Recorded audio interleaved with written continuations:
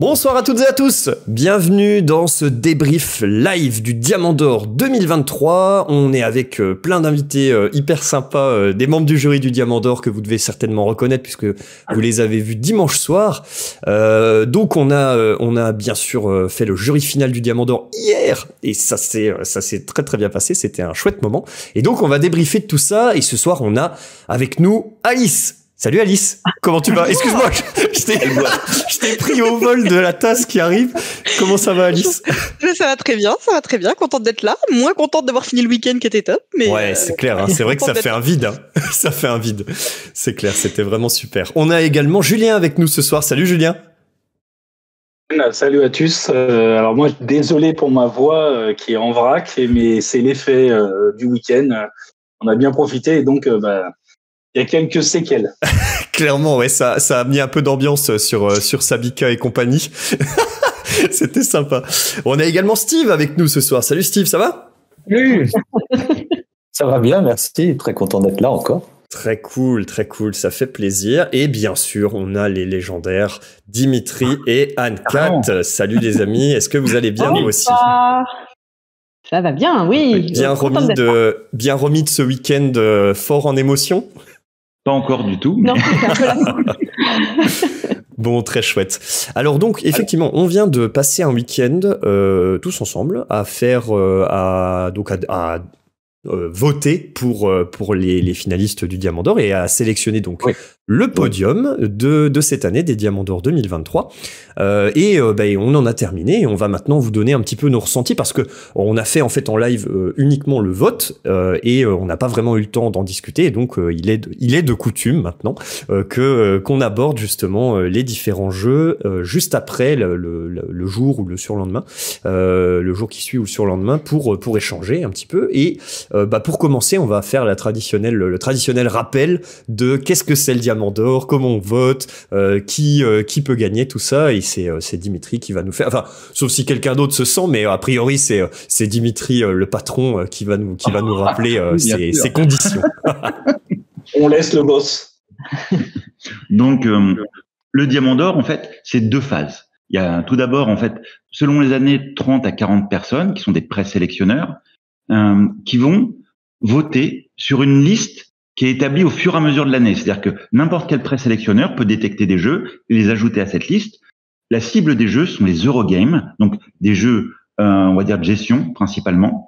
Euh, on n'est pas trop du côté Ameritrash, les jeux avec des, attaques, mais plutôt dans l'Eurogame, des jeux qui vont durer, on va dire, à peu près une demi-heure par personne, voire qui peuvent durer un peu plus longtemps, jusqu'à peut-être 45 minutes par personne. Euh, après, on peut dépasser un petit peu. Euh, et tous ces jeux-là, au fur et à mesure de l'année, on va voter pour ces jeux. Et à la mi-décembre, on va faire une synthèse de, de, tous les votes. Donc le système de vote est assez simple, c'est que si on, on, attribue le maximum de points, qui est 5 points, c'est qu'on le veut dans la section finale, jusqu'à un point, parce qu'on trouve qu'on n'a pas de plaisir de jeu, voire qu'il ne correspond pas du tout au diamant d'or. Après ces votes, on aboutit à une sélection de huit jeux, et ces huit jeux représentent la sélection finale du diamant d'or, sur lesquels on va, on va, je dirais, tester, retester des différentes configurations, et va arriver le week-end du jury, sur lequel on va réunir entre, on va dire, à peu près 25 personnes, un peu moins, un peu plus de 25 personnes, et on va voter pour classer ces huit jeux et déterminer un diamant d'or, un diamant d'argent et un diamant de bronze, parce que c'est la vocation euh, de ce jury. Bien sûr. Voilà. Impeccable. Bon. Très, très chouette. Euh, Anne-Cat, tu voulais ajouter quelque chose? Je voulais juste euh, rappeler que bah, ça, ça permet d'avoir une belle sélection de huit jeux euh, auxquels on a joué pendant tout le week-end et qu'on oui, met en avant. Euh. Et ce qui est important, c'est que ces huit jeux, c'est ces huit jeux qui ont été choisis parmi toute la sélection de la production de l'année qui correspond euh, aux jeux de gestion.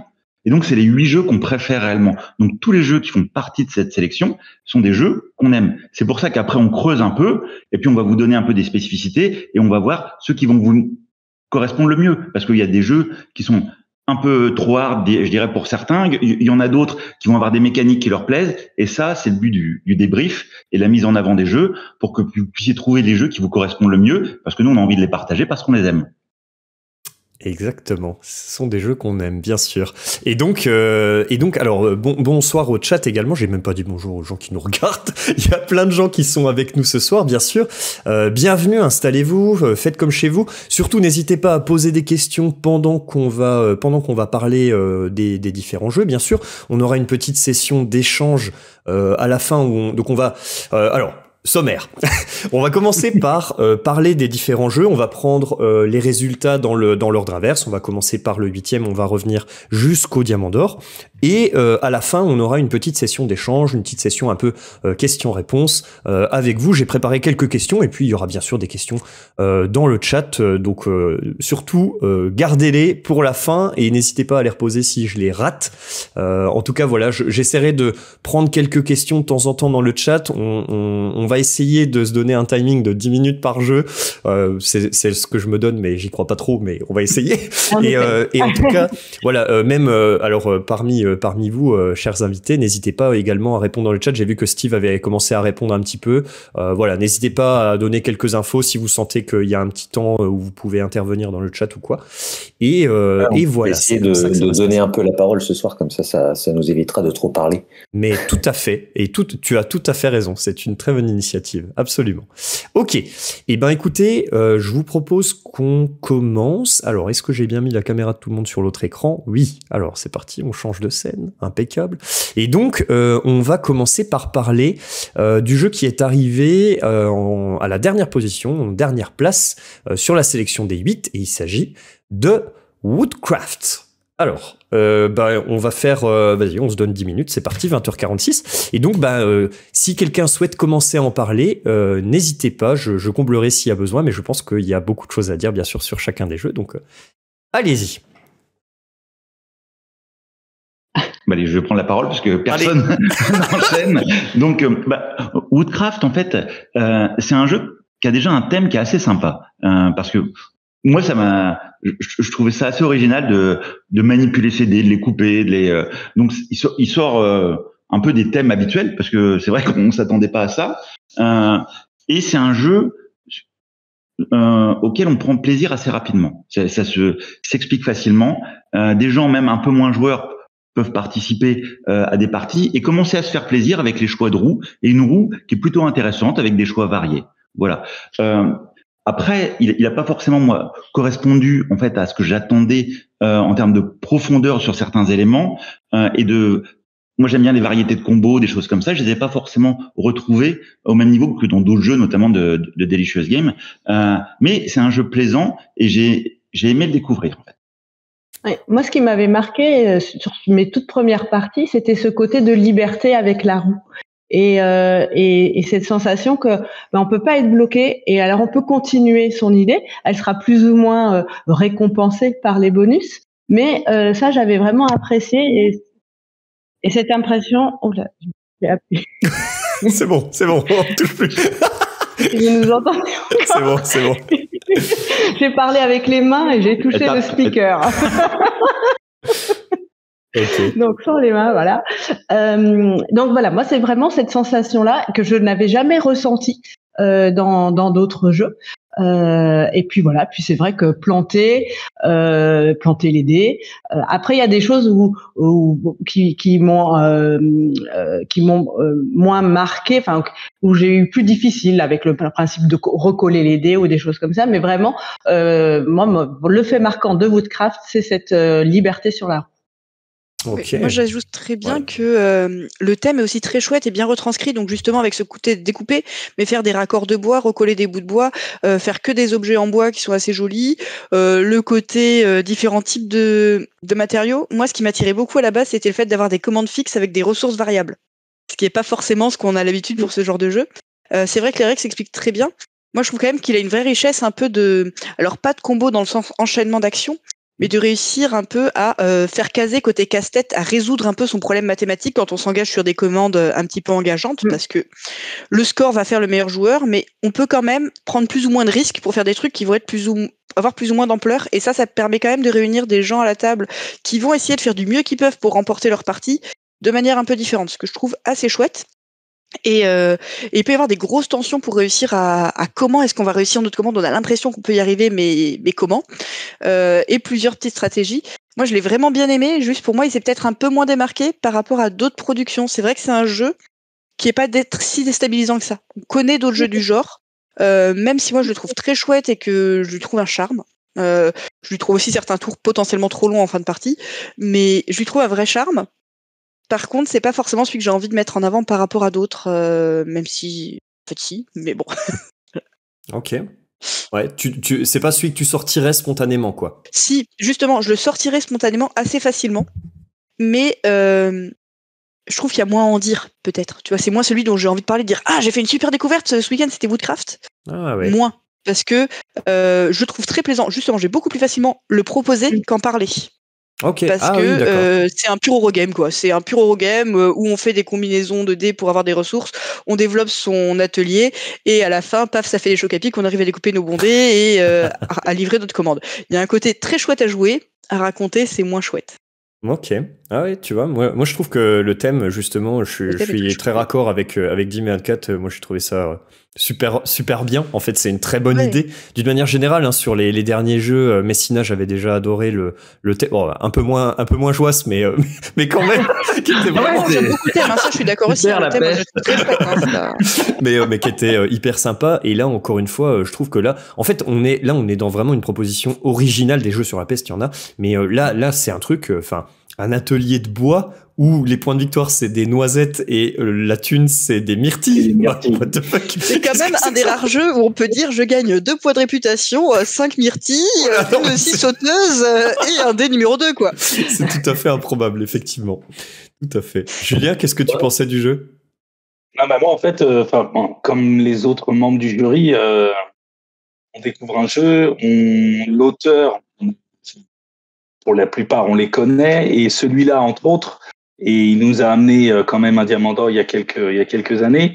Et en fait, je me posais la question de savoir si, euh, bah, de fait, est-ce qu'on n'en attendait pas plus parce qu'on sait la qualité de l'auteur et que euh, bah, on est peut-être sur euh, un jeu qu'on a estimé peut-être moins abouti que ce qu'il a pu nous, nous, nous produire. Euh, après, moi, la roue, j'ai trouvé ça très sympa et le fait de dire que j'influe sur la mise en place de la roue dans chacune des sections, au Mhm. sens où quand je joue mon action, ça va ordonner les, les actions à venir de la prochaine section. J'aimais bien ce, ce côté-là. Hmm. Ouais, je comprends. Je comprends. Steve, petite réaction? Ouais, alors moi j'ai, j'ai- outre, outre la roue qui est hyper sympa parce que c'est, c'est bien foutu, c'est quatre euh, quartiers de roue dans lesquels tu balances tes actions et si elles arrivent au bout, euh, elles seront plus disponibles tant que le, le- le premier quartier est, est lib- est libéré. Ça c'est très chouette. Moi un truc que j'ai beaucoup aimé aussi, et je, je pense pas que vous l'ayez abordé, c'est euh, la possibilité de développer ou non son atelier. Donc on a chacun notre atelier perso avec plein plein de choses à développer, euh, des scie sauteuses, euh, des ateliers de colle, tout ça. Et en fait, on peut euh, jouer à fond cet atelier ou ne pas le jouer du tout et compenser en allant jouer d'autres éléments de jeu, par exemple euh, l'échelle euh, myrtille euh, noisette. Ouais. Donc plus tu déplaces des myrtilles, plus tu gagnes des noisettes. Euh, les, les contrats que tu peux aller chercher, euh, tu peux aller en chercher plus pour essayer de les réaliser si tu développes moins ton atelier, parce que développer l'atelier, ça prend des actions, mine de rien, mais ça rapporte aussi des points. Chaque élément d'atelier que tu, que tu développes te rapporte des points. Et j'ai bien aimé, euh, parce que chaque partie que j'ai faite, j'ai essayé de plus en plus de développer mon atelier et de moins en moins d'utiliser l'échelle des, des noisettes et myrtilles et, et, et, et autre chose. Et j'ai fini la dernière partie que j'ai faite, j'ai développé mon atelier à 100%. J'ai fait au maximum de l'atelier. Et c'est des stratégies qui fonctionnent toutes. Qu'on le développe pas ou qu'on le développe beaucoup, ça fonctionne quoi. Ça, j'ai- je trouvais ça cool. On n'est pas obligé de euh, dire bah j'ai un atelier, il faut que je le développe. Non, c'est pas obligatoire. Tu peux Ah faire autrement. Il y a plusieurs cool. chemins, je suis, je suis d'accord avec toi. Et euh, il y a, alors, il y a, euh, il y a, il y a bien sûr euh, Romain dans le chat qui nous réclame un peu de bashing. L'idée, c'est pas de faire du bashing, mais c'est aussi d'énoncer un petit peu les points négatifs parce que le jeu finit quand même effectivement huitième. Moi, ce que je donnerais en point négatif, c'est que les autres jeux étaient mieux. en fait, euh, euh, c'est des points comparatifs, c'est-à-dire que je me suis plus amusé sur les autres jeux de la sélection, à part impression. Mais sinon, euh, je me suis je me suis quand même beaucoup plus amusé sur les autres jeux et peut-être, il y a, enfin, il y a un truc qui est revenu un peu sur Woodcraft, c'est le système des outils. Je sais pas ce que vous en pensez. Moi, moi, je, trouve aussi que c'est assez curieux comme comme comme choix en fait de d'avoir euh, inclus ces outils. Je, je, trouvais le système de pyramide vraiment intéressant, le fait de débloquer euh, les, les, liens en fait entre entre deux outils. C'est surtout la façon dont ils sont gagnés, leur diversité, le fait qu'il qu en faille euh, absolument deux différents, mais que en fait t'en as toujours des différents. Il y a vraiment faut pas avoir de peau pour tomber sur deux identiques. Enfin, c'était un peu un, un, un, item un peu bizarre dans le jeu. Je sais pas comment comment vous comment vous le voyez très soumis déjà euh, à la, à la, la sortie des cartes euh, dans la rivière. en plus, il peut y avoir une partie où tu as un outil sur toute la partie. Donc euh, c'est vraiment pas un truc qu'il faut se dire au début de la partie. Je joue les outils. C'est pas un axe. C'est pas un axe de. Si t'en as en main, si t'en as en main, tu peux, mais. Ah, mais enfin, pour moi, ça reste un point assez mineur. En main, euh, il en faut quand même en main et après tu vas récupérer pour arriver en haut. 7 pour arriver en haut de la pyramide, c'est mais ça, c'est globalement le cas. Hein. Le, la pioche des commandes, les commandes qui arrivent, qui des fois nous conviennent ou pas, euh, on y est assez tributaire. Euh, je signalerais quand même par rapport au côté bashing, Woodcraft, je pense que c'est un des jeux les moins clivants de la sélection. C'est pas celui qui a fait le plus gros effet waouh, mais je pense aussi qu'il est très peu clivant. Ouais. Après, pour revenir aux outils euh, comme le collage, c'est vrai que c'est rare d'avoir un jeu. Nous, la dernière partie que j'ai fait, il y avait deux joueurs qui avaient un outil, je crois, et personne n'avait collé. Donc avoir deux zones du jeu comme ça où on va quasiment pas du tout, c'est assez rare dans, ce type de jeu en fait, euh, où que personne ne soit là. Et ça arrive cette partie. Alors qu'il y en a d'autres, il y en aura beaucoup plus, mais c'est c'est très aléatoire et c'est toujours curieux si on fait qu'une partie, se dire qu'on n'a pas joué sur toute une partie du jeu en fait. Voilà. Ouais. Effectivement. D'autres d'autres choses sur euh, sur des points peut-être un petit peu moins ou alors peut-être que Dimitri tu peux tu peux nous, nous abreuver des, euh, de tes euh, de tes retours détaillés puisque Dimitri alors voilà. il faut savoir quand même qu'on a fait on a on a bien sûr voté dimanche mais on a également récolté pour chacun des jeux les points positifs et les points négatifs selon chacun des membres du jury. Donc chacun a un petit peu contribué à cette synthèse qu'a fait Dimitri en une journée, c'est la synthèse la plus rapide de l'histoire des synthèses et et, euh, et, donc, euh, voilà, tu peux peut-être nous parler un petit peu du ressenti général du jury sur euh, autant les points positifs que les points négatifs. Voilà. Le principe de la synthèse à chaque fois, c'est pas de mettre un curseur beaucoup de négatifs pour un jeu, beaucoup de positifs pour un autre. c'est juste d'essayer de relever les trois points qui sont revenus le plus souvent, de façon positive ou négative, pour un jeu. Et des fois, ça permet de comprendre un peu plus la place d'un jeu dans le classement par rapport à ses spécificités. Et là, justement, pour pour Woodcraft, euh, bah, très clairement, les points positifs, c'était l'originalité de la mécanique, la roue centrale avec la variété des actions qui étaient jugées euh, intéressantes euh, pour aller vers des stratégies différentes et une liberté. et ensuite, un jeu fluide et accessible. C'est-à-dire que on peut rentrer dedans beaucoup plus facilement que dans d'autres de la sélection. Ça, c'était les points positifs. Mm-hmm. Ensuite, les points négatifs, c'était une sensation de déjà vu. C'est ce dont on a un peu parlé, c'est-à-dire que euh, une sensation d'avoir déjà joué à des types de jeux similaires. Clairement. Premier point. Deuxième point, une sensation un peu d'austérité. C'est vrai qu'on rigole pas beaucoup à Woodcraft. euh, et les gens, non mais alors qu'il y a d'autres Eurogames où les gens vont plus se vanner ça. C'est vrai ah bah que oui. c'est un peu plus solennel. Woodcraft en général, même s'il peut y avoir des parties très drôles, mais ça a été le ressenti euh, des membres du jury et avec notamment la fin un peu répétitive. C'est de rentrer dans un cycle on a tendance à refaire euh, ses contrats ou autres. Donc voilà, en fait, la perception. Et je pense que c'est cet effet, surtout de, de déjà vu et un peu de répétition, qui fait que par rapport aux autres qui pouvaient être jugés plus variés, ben, ils se retrouvent derrière et qu'il y a peu de personnes qui ont envie de le propulser vers le haut. Mais pour autant, j'ai pas eu beaucoup de réactions de dire, comme le disait Alice, j'ai détesté. Voilà. Non, c'est vrai, c'est vrai. Et mais alors, euh, ouais, euh, sur le côté pas fun, c'est vrai qu'il y a une remarque dans le chat. Pourtant, des noisettes et des myrtilles, c'est pas très sérieux. Effectivement, c'est ça pourrait, on pourrait se dire, euh, c'est c'est marrant et tout. En fait, c'est marrant le premier tour. Puis après, bah, ça devient du pognon et des points de victoire. Et, et hop, et pouf, ça disparaît. Moi, ça continue de me faire rire à chaque fois le je prends trois lames de scie, euh, trois noisettes et. Oui, bien sûr. Non, c'est vrai. C'est vrai que c'est c'est pas c'est pas j'adore. Moi, je ris à Woodcraft. Donc ah bah écoute, euh, voilà. On, y a c'est vrai que c'est un peu, c'est peut-être un peu concentré sur son jeu à soi. Il y a au moins une heureuse à Woodcraft qui s'amuse pendant la partie où c'est le méga fun, c'est Alice et voilà, c'est parfait.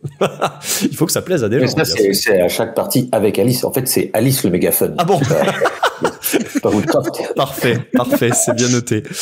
Ok, impeccable. Et eh ben, on va passer à la. Si, si c'est bon, vous avez quelque chose à ajouter? Suivant. ok, allez, c'est parti. On avance. Le suivant, c'est donc en septième position, euh, Weather Machine. Weather Machine de euh, Vital Lacerda, Eagle Griffon Games, tout ça. Un gros, gros jeu. Euh, c'est, alors, fait intéressant. C'est le jeu le plus cher de la sélection. Parce que oui, on a lu, oui, Marrakech, 120 euros, machin, Weather Machine, 160 balles.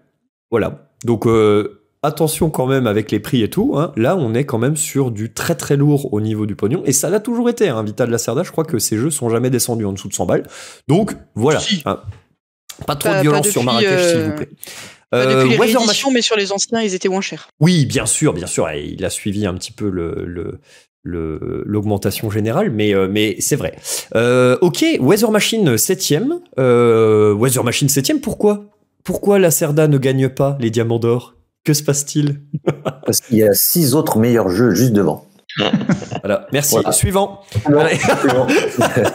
Puis comme sur Woodcraft, c'est la Cerda qui fait du Lacerda. Il y a des trucs très chouettes, il y a des trucs que j'aime bien dans le jeu, mais euh, il a perdu l'effet nouveauté euh, sur ce genre de système cyclique qu'il avait sur On Mars, même s'il fait quelque chose de différent, hein, c'est pas le même jeu.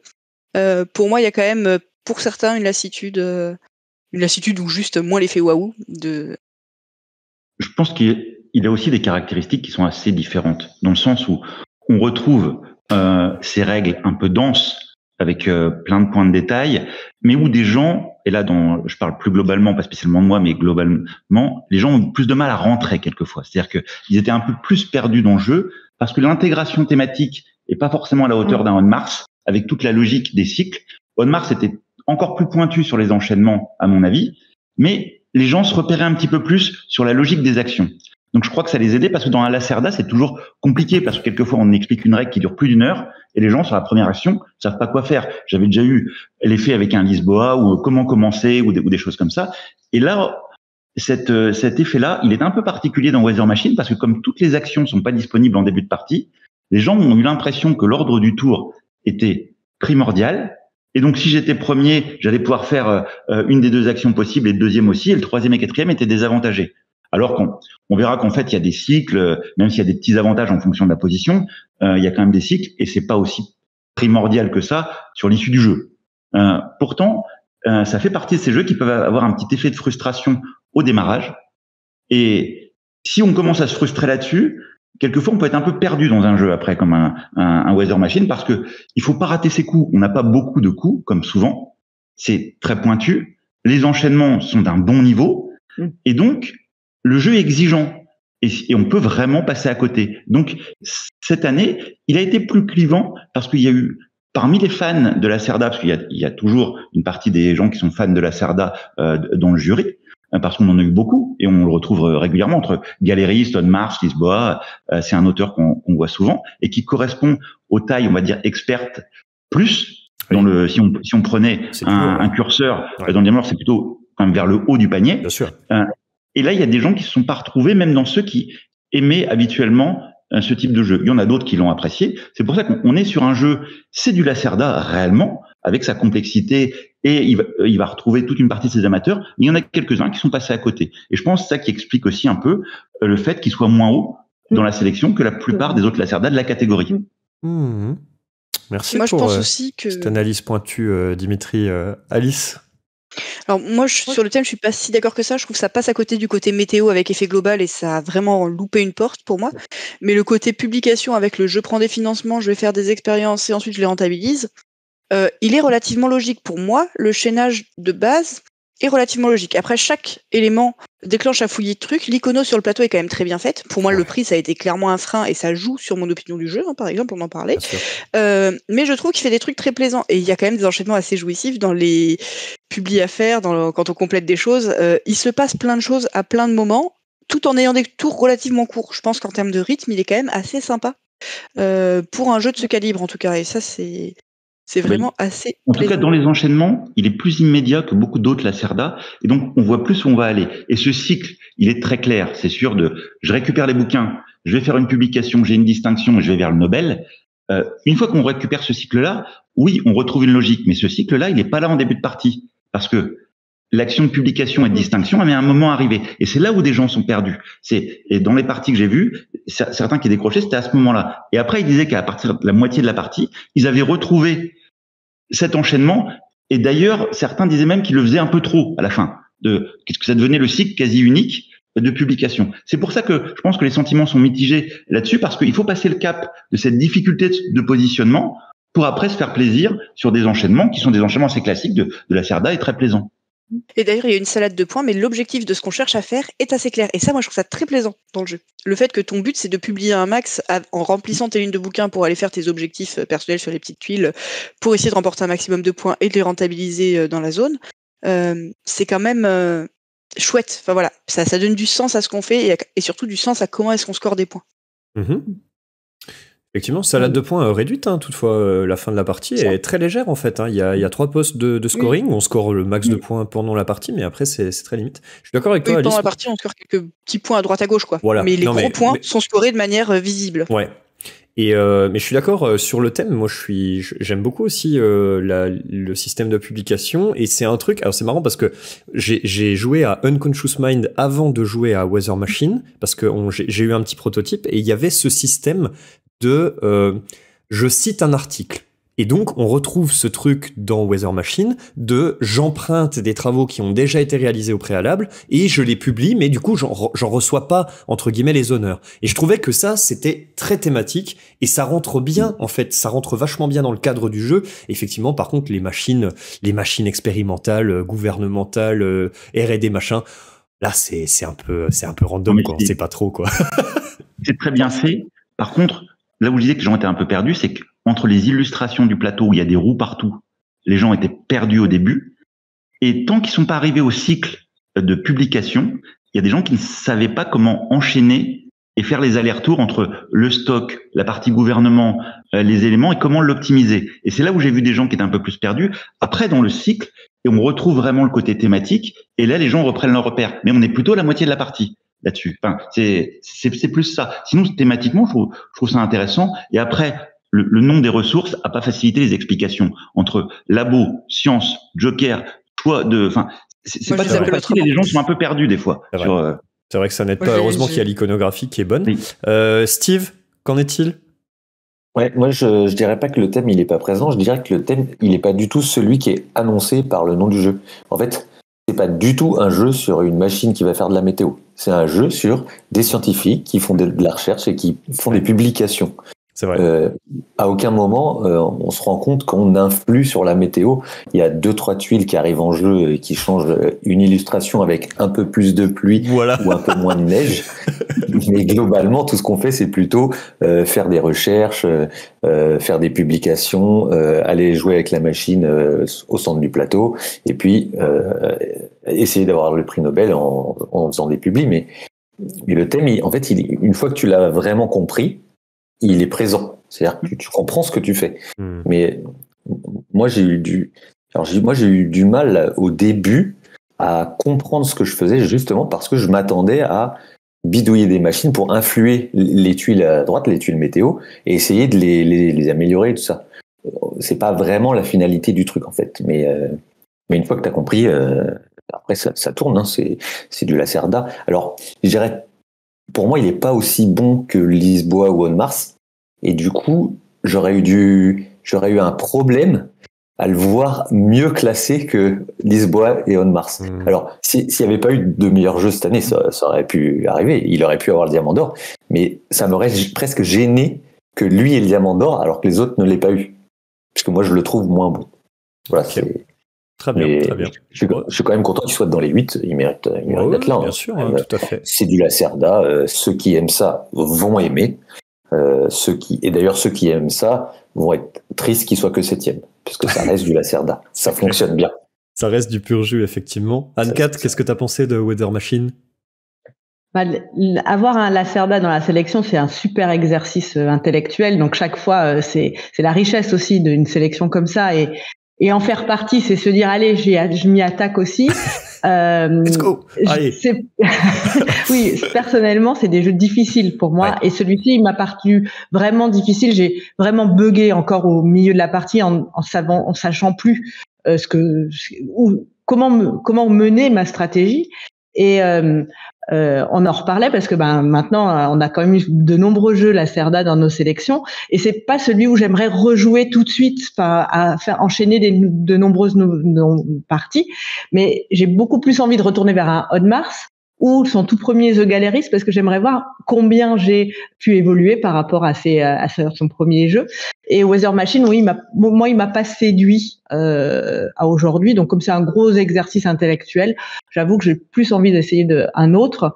Et c'est pour ça que moi, personnellement, je vais pas. Euh, voilà, il est pas dans, dans mes préférés.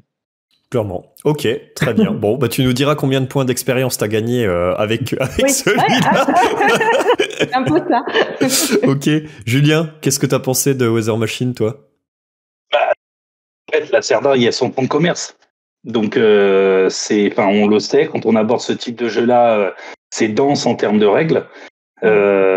par rapport aux autres jeux de la sélection, moi, à titre personnel, c'est celui qui m'a demandé le plus d'investissement dans l'explication des règles qu'on m'a fait.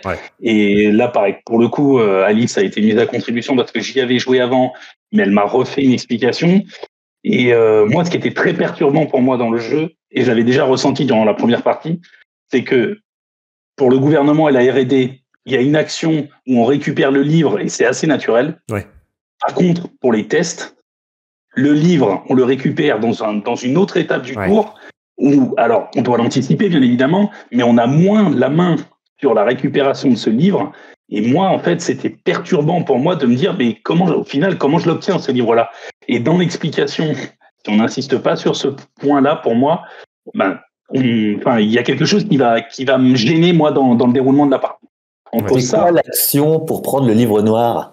J'allais y venir. C'est exactement le deuxième point, c'est euh, le livre noir ou si, pareil, on n'insiste pas dans l'explication de règles pour dire alors attention, quand vous allez jouer cette action, vous pouvez dire, selon telle condition, que vous prenez un livre noir, parce qu'il n'y a aucune action qui vous permet de le récupérer, c'est pas une action en tant que telle. Si, si on n'insiste pas dans l'explication de règles, il y a des joueurs qui vont être perdus et qui vont dire ah, mais alors l'autre il a réussi à faire la publication donc c'est moi il avait les trois livres moi j'aurais jamais les trois parce que les conditions font que bah, le troisième je l'aurais pas mais euh, au final, est-ce que j'ai fait ça pour rien ou et donc j'ai perdu mon temps? Non. Il faut bien insister sur ce point-là pour que quand même on puisse en tirer, euh, tirer un bénéfice et que puisse poursuivre notre partie. Donc euh, c'est, enfin de toute façon de la Cerda, voilà, c'est cet auteur, il est particulier pour moi. Moi, j'apprécie ce qu'il fait, hein, et, et donc bah, là dans le week-end, j'en ai joué deux parties de Western Machine. J'étais très content des, des deux parties, mais ça reste, comme le disait Anne c'est un défi intellectuel, c'est clair. Aussi, j'ai un petit point à noter en fait par rapport à, Weather Machine, c'est que je pensais assez spontanément que la partie bleue était, qui est gouvernement, était assez indispensable dans le jeu en début de partie. Et là, j'ai joué avec euh, euh, un autre joueur qui n'y est quasiment pas allé sur tout le début. Il avait zéro tuile bleue. Okay. Et il nous a battu. Pourtant, on était quelques ah joueurs. Euh, oui. Euh, et donc c'était Damien dans les. Euh, donc c'est un bon joueur, mais il a réussi à trouver un truc. Il y allait plus tard. Et donc le focus qu'on se met, parce que moi je me mets un focus des fois sur Weather Machine, je dois vraiment optimiser les bleus pour bien démarrer, sinon bah je vais avoir une problématique. Mmh. Eh bien, il y a quand même d'autres voies, et j'étais content de le constater. Ah bah c'est clair. Ah oui, moi j'aurais pas dit hein, non plus de prime spontanément. Mmh. Voilà. Donc c'est plutôt rassurant sur euh, l'orientation, c'est que il y a des moyens alternatifs qui sont assez pointus. On est dans du costaud. Enfin, je sais pas, pas en faisant n'importe quoi que ça va marcher, mais il y a, il y a vraiment des voies alternatives, et ça c'est plaisant. Ok, très chouette. Euh, Dim, tu veux bien finir par une petite synthèse, Allez. Oui. Donc, ce qui est ressorti, c'est qualité du matériel et des illustrations, en fait, globalement, le, plaisir de, l'objet, une belle profondeur de jeu et un thème, justement, comme vous le disiez, assez bien intégré. C'est avec des, logiques qu'on retrouve à, des moments. Donc ça, c'est vraiment les, points qui sont ressortis euh, et avec un, un Lacerda qui fait du Lacerda. Donc, euh, on nous ment pas par rapport euh, à, la promesse euh, dans la catégorie. ensuite, les limites, ça a été des règles, peut-être avec encore plus de points de détail et des choses qui apportent pas grand-chose au, jeu. Notamment, a été souligné le fait de devoir aligner les roues dans l'espace de stockage pour payer un truc de l'autre côté. Ah oh là là. Ça, on voit, ça va un petit peu loin au niveau des, des règles qui apportent pas grand-chose au plaisir de jeu en plus. Donc, euh, et enlève, enlève au plaisir qui enlève, qui enlève, je suis d'accord. Ouais. Le deuxième point, ça a été l'ergonomie des roues. Il y a trop de roues sur le plateau. Et comme il y a, dans toutes les zones, il y a des roues qui sont dessinées, les gens, quand ils commencent, systématiquement, ils ont l'impression qu'ils doivent payer des roues.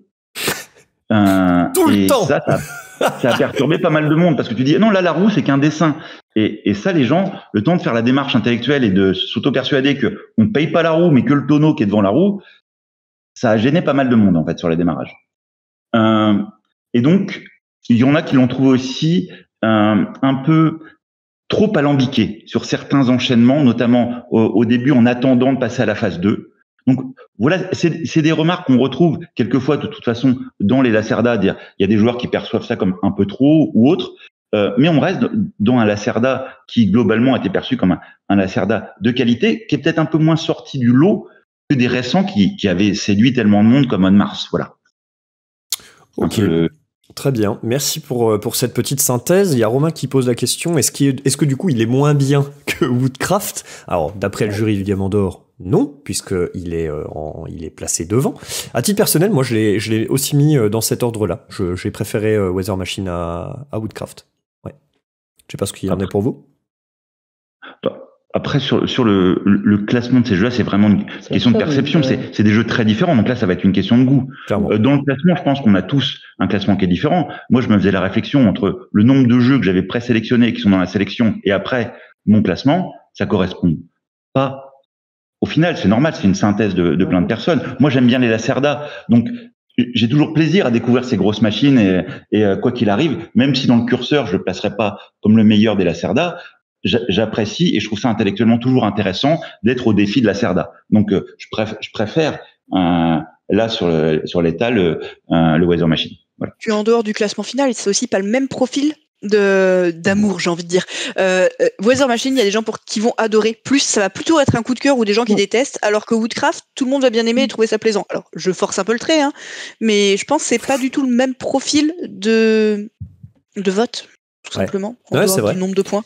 Non, bien sûr, bien sûr, mais du coup, comme on peut, on peut attribuer des points à tous euh, indifféremment, je veux dire, c'est pour ça que c'était intéressant de. Intéressant techniquement, on est un peu, on est un peu à l'opposé, c'est que bah, avec un Woodcraft, on est plutôt dans l'entrée euh, et, la, simplicité, et l'accessibilité immédiate, et, dans Weather Machine, on est dans une complexité plus, mm. donc on est un peu cohérent. loin euh, dans la typologie de jeu expert. En fait, pour moi, euh, ils sont, ils sont assez éloignés l'un de l'autre en termes de difficulté et de compréhension.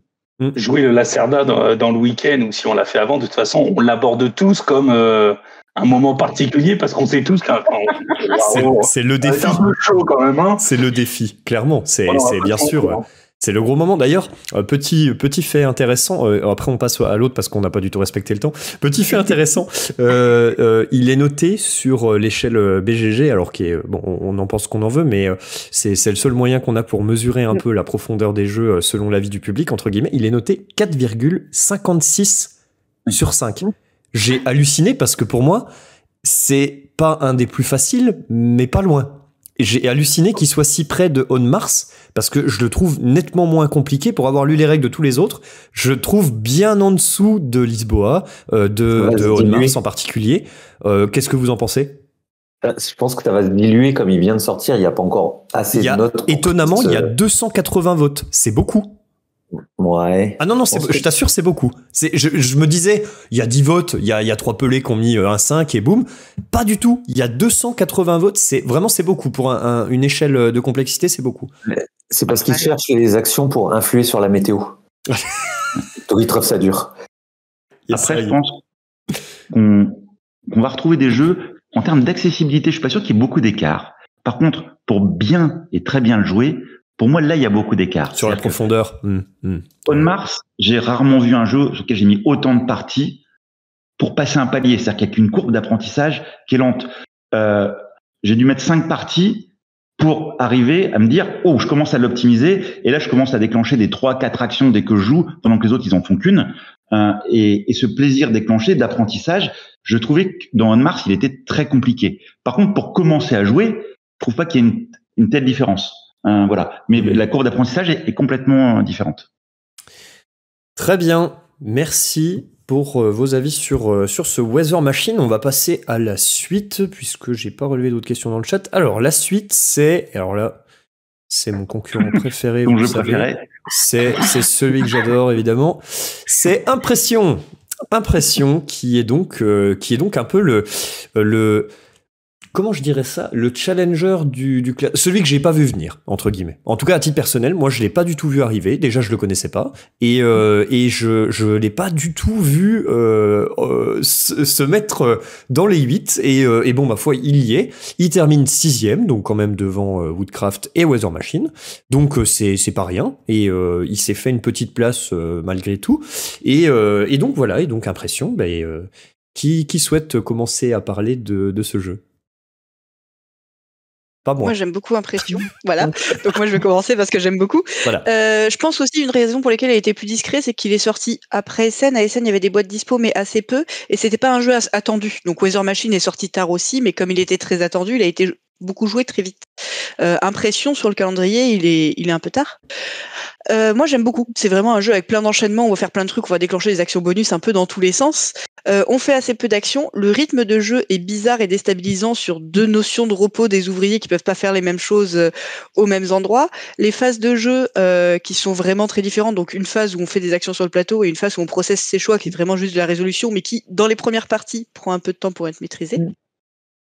Et moi, j'ai vraiment aimé la proposition. Euh, la proposition euh, très casse-tête d'enchaînement de trucs, de euh, il y en a un peu dans tous les sens. On est obligé de renoncer à des choses et pourtant on va faire plein de trucs plein très puissants à beaucoup d'endroits différents. Voilà, y a, on, on, fait que des tout petits trucs, on est sans arrêt frustré de pas faire grand chose mm. et en vrai on fait quand même des grosses actions puissantes vachement jouissives. Et le fait d'avoir les deux à la fois dans un jeu bien tendu, euh, qui peut être assez punitif euh, aussi en début de partie. Moi, moi j'aime les jeux un peu punitifs des fois, c'est mon côté un peu maso. Euh, ça, ça me plaît vraiment beaucoup. Et là-dessus, je l'ai trouvé très très plaisant. Il a des défauts d'édition, ça faut le reconnaître. moi, je j'aime bien le thème, je le trouve agréable. Le thème est pas très présent. heureusement, il est bien porté par le matériel. Heureusement que les ressources c'est du papier, des encres, du métal. Sinon, on l'oublierait. Les titres des ouvrages sont très chouettes et ont une évolution de période. Mais en vrai, on pourrait fabriquer du jambon, on ferait la même chose. Ouais, euh, bon. C'est clair. Ok. Alice, elle en parle super bien. C'est un plaisir bah, de C'est déroutant. je me dis presque, attends, j'ai raté un truc, c'est pas possible. non mais moi sur le sur le système central, j'ai trouvé ça assez intéressant. Cette action en, deux temps, de deux types par case, avec euh, des blocages, action forte, action, on va dire euh, plus limitée mais obligatoire dans le passage, avec des déclenchements j'ai trouvé ça très intéressant, surtout que ça ouvrait sur différentes perspectives, qui étaient à la fois une map d'un côté pour voyager, euh, de l'autre une pose de tuiles par rapport à l'impression, des déclenchements de bonus. Paradoxalement, j'ai trouvé un peu plus limité l'utilisation de la machine, c'est-à-dire que euh, il y a un focus. La machine qui est utilisée à la fin du tour, il faut un maximum d'action avec un bonhomme blanc mmh. qui vous permet d'augmenter l'intensité de l'action. Et on voit que la stratégie cœur du jeu, c'est quand même de monter ce bonhomme blanc pour pouvoir faire ces manipulations. Mm. Et une fois qu'on a la machine qui est lancée, on a tendance à avoir pas mal de ressources, de l'argent si on réussit à peu près à goupiller les, choses. Et ça devient un petit peu automatique à la fin du tour, mais ça peut être un petit peu long avec les déclenchements d'action. C'est-à-dire qu'on fait avancer euh, sur différentes étapes de la machine. Ce qui est bien intégré, je trouve, là thématiquement, c'est que on a différentes étapes où on dépense des ressources pour faire avancer sur une chaîne de production. Par contre, c'est un peu toujours la même chose sur, sur la fin de partie. On l'aura préparé tellement, si on a la vision de, de ces fins de tour, que j'ai l'impression sur les derniers tours de refaire un petit peu le même cycle. Voilà. Mais j'ai trouvé ça plaisant, et notamment le système d'action, qui a une originalité qu'on voit pas forcément avec euh, des blocages, des prises de situation euh, sur un, un carré de 4 sur 4 simplement, euh, qui est plutôt sympa. Ok, très bien. Qui d'autre?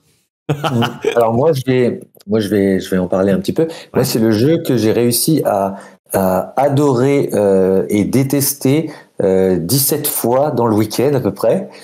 Euh, oh, j'adore. Oh non, putain, c'est horrible. Oh putain, c'est génial en fait. Oh putain, non, je peux, je peux pas. Euh, pourquoi?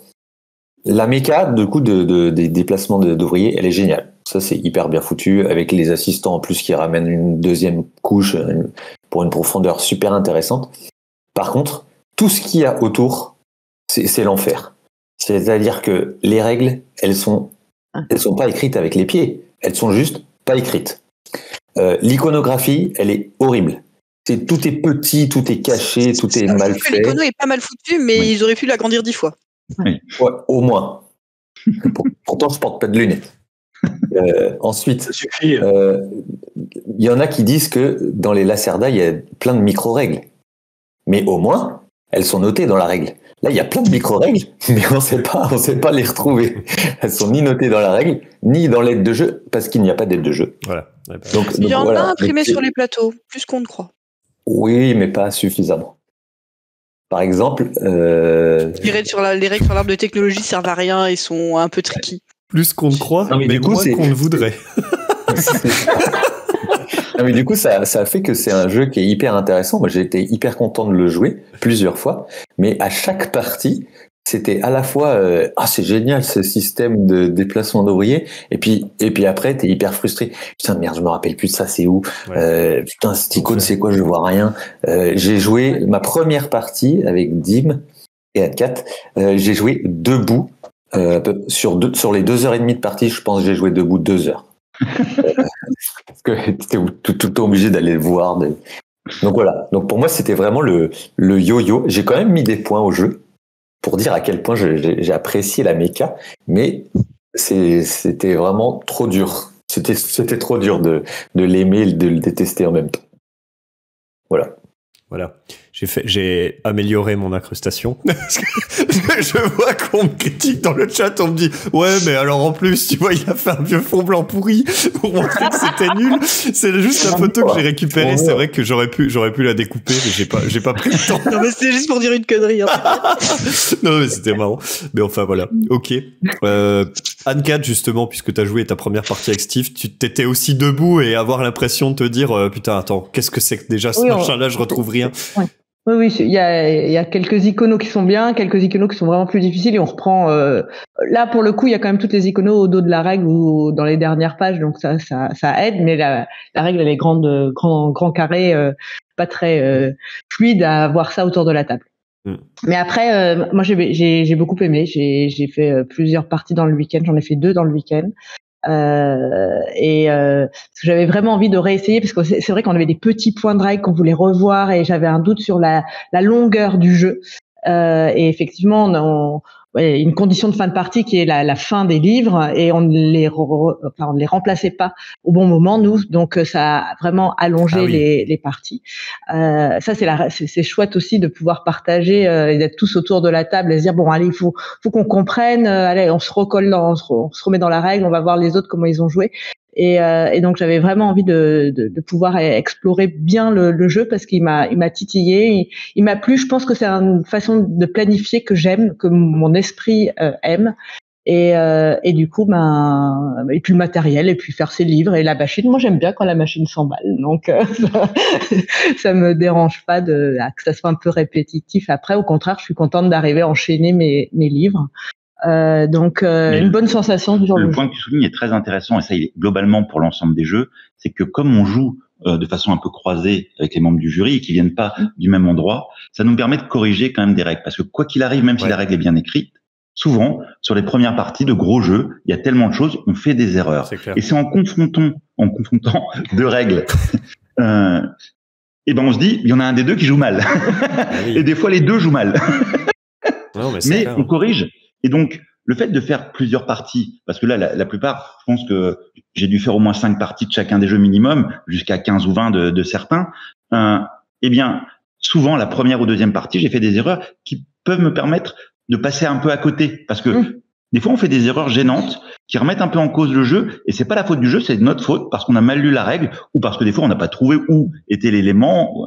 Euh, et ça, c'est important à souligner parce que c'est pour ça que c'est important de rejouer avec des groupes différents donc vous pouvez le faire parce que on peut corriger certaines choses et prendre plus de plaisir en jouant avec la bonne règle. Hmm. Ouais, c'est important, ouais, ce que tu dis. Euh, euh, euh l'ordre du tour, l'ordre du l'ordre du tour est super important dans euh, dans l'impression. Je m'emballe. Attention. non mais c'est vrai parce que certains euh, c'est c'est important pour avoir une, la bonne expérience et, et, jouer comme il faut. Voilà. C'était la minute règle. Et voilà, c'était la minute règle. à la semaine prochaine. et, euh, ok, Julien, impression. Ben, moi, je suis arrivé avec un, en écoutant l'avis des autres, parce que là, pour le coup, sur les huit jeux, c'est le seul que j'avais pas eu l'occasion de jouer avant. Et euh, bah, clairement, le jeu est clivant, puisque bah, il y en avait qui étaient emballés et d'autres qui euh, ça n'avait pas du tout pris. Donc bon, bah moi j'avais besoin. Bah, donc toi, tu étais dans la première catégorie. Euh, donc moi, bah, j'avais besoin de mettre mon avis, bien évidemment. Donc j'ai pu quand même faire deux parties sur le week-end. La première, euh, Olivier, je le je l'ai plaint parce que j'ai compris au bout des deux tiers comment la mécanique mettait en place et donc j'ai arrêté de l'emmerder euh, au bout de au bout des deux tiers de la partie en étant un peu plus autonome. Euh, moi, le défaut que j'ai, c'est que la phase de production, on nous l'explique la première fois, on l'a on l'a fait chacun notre tour pour être sûr d'avoir bien compris. Bon, après, cette phase-là est simple, donc on la joue. Mais alors, elle est source de d'oubli de points, d'oubli d'argent. Euh, enfin, ça, ça peut avoir des effets non négligeables. Euh, j'ai pas rendu les j'ai pas rendu les ressources euh, que j'ai consommées, donc forcément je recommence le. Enfin, la manche suivante, j'ai potentiellement pas ce que je devrais avoir en main, ou moins ou plus, et euh, bah ça peut nuire à la tenue du jeu en fait. Et puis si tu veux que le jeu dure pas, le jeu ne dure pas trop longtemps, tu es obligé de, de la faire en même temps que tout le monde. Ah, il, faut faire, il, faut faire, confiance euh, dans ce que font les autres parce que tu joues euh, deux minutes tout seul à faire tes, tes prod à prod euh, et tu peux même toi sans faire tu peux faire tellement d'erreurs et moi, c'était pas la confiance envers les autres joueurs parce que bon, on se connaît et on, et on a, enfin, on aborde le fait qu'on qu'on ne triche pas, mais c'est simplement de juste bah, se tromper nous-mêmes dans la résolution de cette phase-là et que ça ait des impacts pour le reste de la partie en fait. Oui, tu peux faire plein d'erreurs, c'est vrai. Oui, c'est sûr que si tu finis avec deux points d'écart avec un joueur, tu peux pas savoir si tu as recompté un truc à un moment donné, oublié. Enfin, euh, c'est fait partie de ces jeux où le scoring final, il y a une petite marge d'erreur, même sans vouloir absolument du tout tricher, sur euh, des gens qui auraient fait une erreur d'interprétation, même de certains déclenchements ou autres. Euh, voilà, faut l'accepter en fait. Hein. Le petit sou, le petit oublié, c'est vrai que sur ce jeu, il est pénible. c'est pour ça que moi je perds avec 30 points de retard, comme ça je suis sûr de, d'avoir perdu. Bon après, tu peux, t'es jamais à l'abri d'une grosse erreur, tu vois, de, de compte ou un tour, un tour de plateau qui te manquerait, tu vois, par exemple. Il a dans le sens sur la piste de sport. mais enfin, non mais voilà. En fait j'avais gagné. je ne sais pas, je ne sais pas, j'étais pas là. Mais euh, mais enfin, ouais, bon oui, moi je suis, enfin moi je, moi j'ai détesté lire les règles, j'ai détesté les relire, j'ai détesté les lire une troisième fois parce qu'on avait, on a vraiment ramé. Euh, je crois qu'à partir de là euh, c'était c'était plié. Et bizarrement, j'ai détesté lire les règles d'un autre jeu euh, qui qui est pas dans la sélection mais qui s'appelle Council of Shadows. Et je m'étais dit, je m'étais dit, c'est ça qui fait chier sur impression, c'est les règles, c'est les trucs, les erreurs, les machins, tout. Council of Shadows, je crois que j'ai jamais fait autant d'erreurs de règles sur une première partie. Je les avais pas lues au début et du coup on a fait 50 000 erreurs de règles. Pourtant j'adore le jeu. Et donc c'est pas ça. Donc il y a pas que ça qui me dérange sur impression. Mais euh, mais au final, euh, ouais non, je pense. Enfin moi je rejoins tous les points négatifs qui viennent d'être dits. Je les rejoins tous et euh, et je voilà ça, ça pour moi c'est un jeu que je ne toucherai plus. Je pense plus jamais. voilà. Je vais faire la petite synthèse peut-être pour. Oui bien sûr. Synthèse. Donc, euh, les points positifs, on en a parlé, la mécanique euh, d'action de pose d'ouvrier en deux temps, qui a beaucoup séduit. En fait, ça a été vraiment le, un gros point fort. Ensuite, le plaisir de préparer ces enchaînements de fin de tour. Il y a beaucoup de personnes qui ont, qui ont dit, enfin voilà, mm. on articule les choses pour avoir cette satisfaction de résolution et d'amener euh, les éléments sur la machine jusqu'au bout euh, et le plaisir de, euh, de dépenser, de voir à chaque étape les avancées. Mm. ça, ça a beaucoup plu.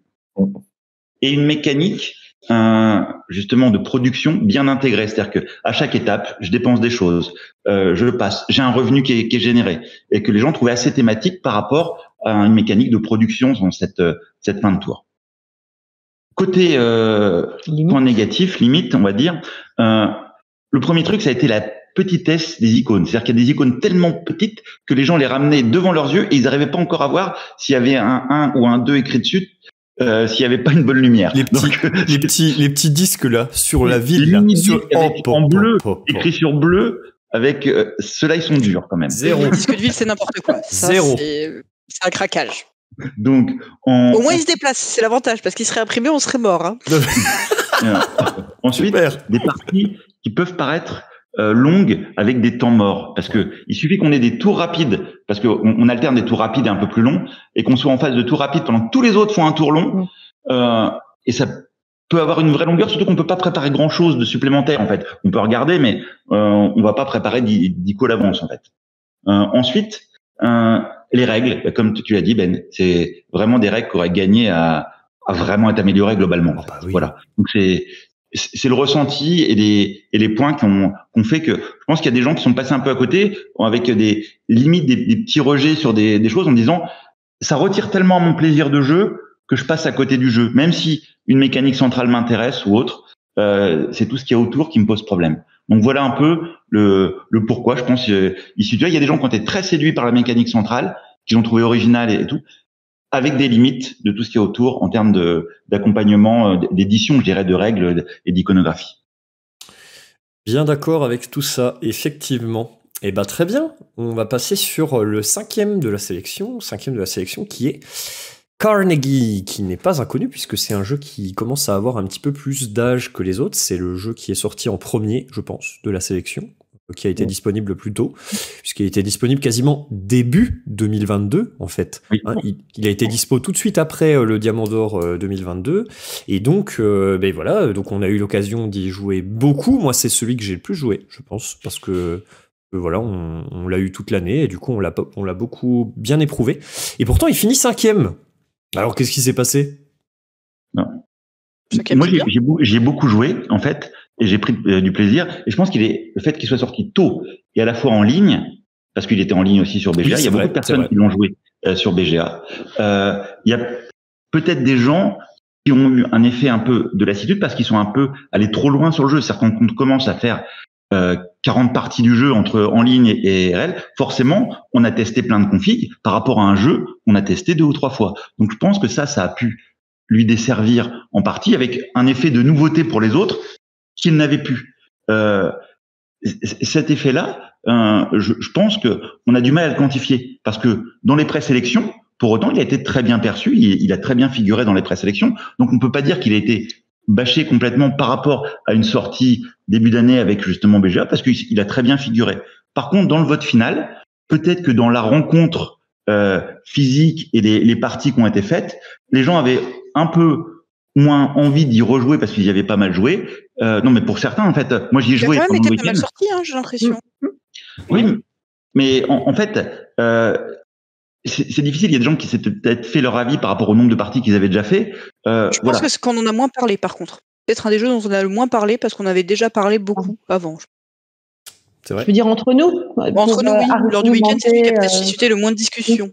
Ah, je, je sais pas là parce que notamment sur les bâtiments, sur les, les, les départs avec les nouveaux types de bâtiments, il y a, y a, des gens qui en parlé, parce qu'il y en a qui avaient essayé que la version de base avec les 16 bâtiments, d'autres qui avaient intégré les 16, qui avaient fait des départs avec un bâtiment de chaque. Donc je pense que non, ça, ça a échangé. Après, euh, comme tout, enfin là on arrive quand même à la cinquième place. Hein. Euh, euh, c'est des jeux qui sont déjà les huit bien appréciés, le cinquième il est, il est vraiment bien bien aimé. Il y a peut-être des petits éléments déclencheurs pour certains qui ont fait que les coups de cœur sont allés vers d'autres. Euh, pour moi, c'est une des explications parce que je pense que Carnegie a pas de, de gros défauts tranchés. C'est-à-dire que c'est un jeu qui est vraiment bien équilibré euh, dans sa globalité. Il peut y avoir des bâtiments qui sont un peu plus forts euh, que d'autres, mais en général, quand tout le monde les connaît, ben, on va se positionner sur des bâtiments plus forts, différents les uns des autres. Donc, la partie, elle est pas pliée au deuxième tour, ce que je veux dire. En fait. Par contre, il peut être assez punitif si on rate des cycles, parce que si on rate des cycles, qu'on n'a pas les maisons, tout ça, mm. euh, par rapport à des joueurs qui sont habitués ça peut faire des différences. Donc je crois que cette petite courbe d'apprentissage fait que quelquefois on voit la personne qui a fait quand même ces dix parties par rapport à celle qu'on a fait deux, euh, par exemple. Donc, euh, voilà ce qu'il y a. Euh, mais, mais sinon, euh, je trouve que c'est un beau jeu et qu'il a été notamment euh, accompagné d'un beau matériel en version KS, en fait sur sur tout ce qui était rangement. et c'est assez plaisant parce que tu le sors vite. C'est pas des règles qui, qui prennent là justement, qui se perdent dans les détails. C'est efficace, fluide euh, et euh, je pense que c'est c'est ça qui a plu aussi dans dans Carnegie. Mm-hmm. Ok. D'autres retours euh, sur sur ce jeu? Moi, j'aime beaucoup la mécanique à la Puerto Rico. Du coup, du coup, Carnegie m'a directement plu quand il est sorti, et c'est vrai qu'on y a joué tout le long de l'année. En fait, il n'y a pas eu, comme souvent après Essen, où tu as le jeu que tu achètes, que tu joues dix fois dans le mois, puis après tu passes à un autre. La Carnegie, euh, je, pense que je l'ai sorti une, une, fois par mois toute l'année jusqu'à jusqu'au janvier. Quoi. Donc ça, c'est vrai que c'est ça, ça, prouve que ça fonctionne et que ça dure dans le temps et que, et que même s'il est sorti au début de l'année, il n'a pas été oublié et il était là. Et je je suis pas sûr d'avoir en tête une année de Diamant d'Or où un jeu qui soit sorti en tout début d'année précédente euh, finisse dans les cinq premiers. Pas en tout début d'année. Il y avait, un peu l'exemple de, Coffee Trader l'an passé, mais c'est vrai que c'était milieu d'année. C'était déjà plus tard, bien sûr. Mais, euh, mais, quand même. Ça pas souvent, quoi. Ouais, c'est vrai. Moins diffusé aussi. Euh, ouais. Après, oui, c'est vrai que je rejoins, je rejoins Dimitri sur le fait que c'est un peu punitif. C'est-à-dire que si, comme c'est à la Puerto Rico, c'est les autres qui décident d'une action et tout le monde l'a fait. Si t'es pas en, rythme que pas, pas en phase, c'est dehors. Putain, tu peux vraiment, vraiment euh, te, chier ton, ton, ton, ta partie.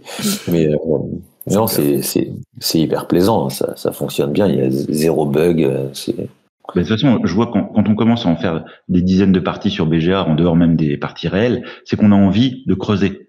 Et un jeu qu'on a envie de creuser, il a tout gagné. Parce que un jeu expert, son but, c'est de donner envie d'y revenir et de creuser de nouvelles stratégies, d'essayer de nouvelles choses. Et là, je pense que Carnegie, il coche bien ces, ces cases-là. Alors moi j'ai un ressenti totalement différent justement où il me donne pas envie de le creuser. J'ai bien aimé vraiment comprendre cette mécanique euh, de comment est-ce qu'on interagit avec les autres avec des puissances d'action mais l'investissement sur la technique, parce que en dehors de la courbe d'apprentissage, c'est un jeu que je trouve technique. Il faut bien connaître les bâtiments et savoir comment ils interagissent sur euh, les donations, lesquelles vont être courues en début de partie, tout ça. Il y a un truc de connaissance du jeu en dehors du fait de l'appréhension du jeu. Pour moi, c'est deux choses un peu différentes. Et moi, ça me donne pas plus envie que ça euh, de l'approfondir. J'ai préféré le découvrir que de le rejouer. Après, je trouve quand même qu'il est il a un très bon rythme de jeu, mm. il est facile à sortir tout ça, donc ça fait qu'il est agréable à sortir quoi qu'il arrive et je refuse pas d'en faire une partie. J'apprécie bien ce système-là, mais moi il est pas du tout addictif pour moi. Ok. Ah ouais, moins. Je, pensais pas que tu l'avais moins apprécié comme ça, tu vois, parce que sur sur ah la partie qu'on a fait dimanche matin, je te sentais emballé et tout ça quand même, et. Euh, et... Je m'investis dans le jeu, mais en fait, euh, les leviers du jeu, je les trouve, ils sont pas là où, où ça me plaît en fait, sur le ah, décompte de points, sur ce qui se passe, sur tout ça. Après, je suis reste un pied à la partie, hein, j'aime bien y jouer. Euh, c'est vraiment celui que j'aime le moins de la sélection. Et même, je dirais, c'est le seul que je n'aime pas activement de la sélection. Alors après, j'ai quand même envie d'y jouer de temps en temps, donc euh, c'est un je n'aime pas euh, très très relatif. hein, mais moins. mais voilà, c'est pas. oui, clairement. Mm. Et je vais pas être moteur pour le sortir. Peut-être, c'est clairement un jeu que je moi, si ça dépendait que de moi, que je sortirais tous les deux ans parce que les mécaniques changent un peu, qui proposent quelque chose, et que ce qui me déplaît, c'est le côté technique de connaissance par cœur des bâtiments. Donc, mm. on le sort très occasionnellement. Je suis d'accord avec toi quand tu dis que t'es pas euh, pas hyper emballé par le jeu. C'est en fait ça rejoint ce que je disais. C'est pas le jeu que tu, tu joues dix fois euh, la semaine où il sort, mais c'est plutôt un jeu que tu joues hyper régulièrement. Mais ça dépend parce que des gens ont enchaîné les parties, notamment sur BGA, vraiment avec une grosse technicité dessus. Moi je parle pas de BGA parce que c'est vraiment différent de jouer sur BGA. Tu peux faire quatre parties en même temps euh, dans la journée. Enfin, c'est pas la même approche. Euh, tu as des jeux qui fonctionnent mieux sur BGA qu'en vrai et inversement. Donc là, on c'est vrai qu'on est là pour juger les, les jeux réels, enfin posés sur la table en tant que tels. Et leur portage sur BGA, par contre, est facilitateur des fois euh, de découverte. Et euh, moi, quand j'ai joué sur BGA, c'est pour tester plein de choses. C'est-à-dire que pour tester autant de choses que j'ai que j'ai testé, il aurait fallu que je passe mon année à jouer qu'à Carnegie quasiment. En fait. Euh, alors que sur BGA, ça m'a permis de creuser des choses. C'est pas le même niveau de satisfaction et on ne peut pas comparer. Donc, pour avoir un vrai avis sur Carnegie, il faut jouer en réel parce que c'est pas le même rythme non plus de jeu. Et donc, il faut le découvrir en réel. Je pense que c'est ça modifie des choses. Euh, Mais c'est toujours intéressant de voir ces expériences en ligne euh, sur un jeu parce que quand on a envie de retester des choses, c'est qu'il y a des qualités de, je dirais, de diversité qui permettent d'avoir envie de le retester souvent, en fait, euh, sur le jeu expert. Mhm. Julien, qu'en est-il? Carnegie, t'as bien aimé toi? Ou, euh, ou, ou, moyen? T'en as fait des, des, dizaines de parties? Des dizaines, je dirais pas, mais euh, j'y ai joué plus que les, les autres. Bah, un, le, le, la temporalité explique. Euh, moi, ce que je me dis, c'est que bah, les bâtiments supplémentaires du KS, bah, ils sont presque indispensables en fait. Parce que si on veut pouvoir lui donner suffisamment de rejouabilité et éviter de trouver, enfin, d'identifier une stratégie qui va, qui va être gagnante, ça me paraît difficile de, enfin, de, de s'en passer en fait. Mmh. Ouais, pour la renouvelabilité, quoi. Mmh. Ok. Euh, ok, très bien. Anne-Cat un commentaire sur, euh, sur Carnegie? Eh ben, euh, volontiers. Moi, je trouve intéressant l'argument de et la présentation d'Alice quand elle dit il y a beaucoup. Euh, enfin, il faut bien connaître les bâtiments. Et je pense que ça, pour moi, c'est un frein parce que j'aime bien ce côté aussi où tu peux un peu aller sur l'intuition.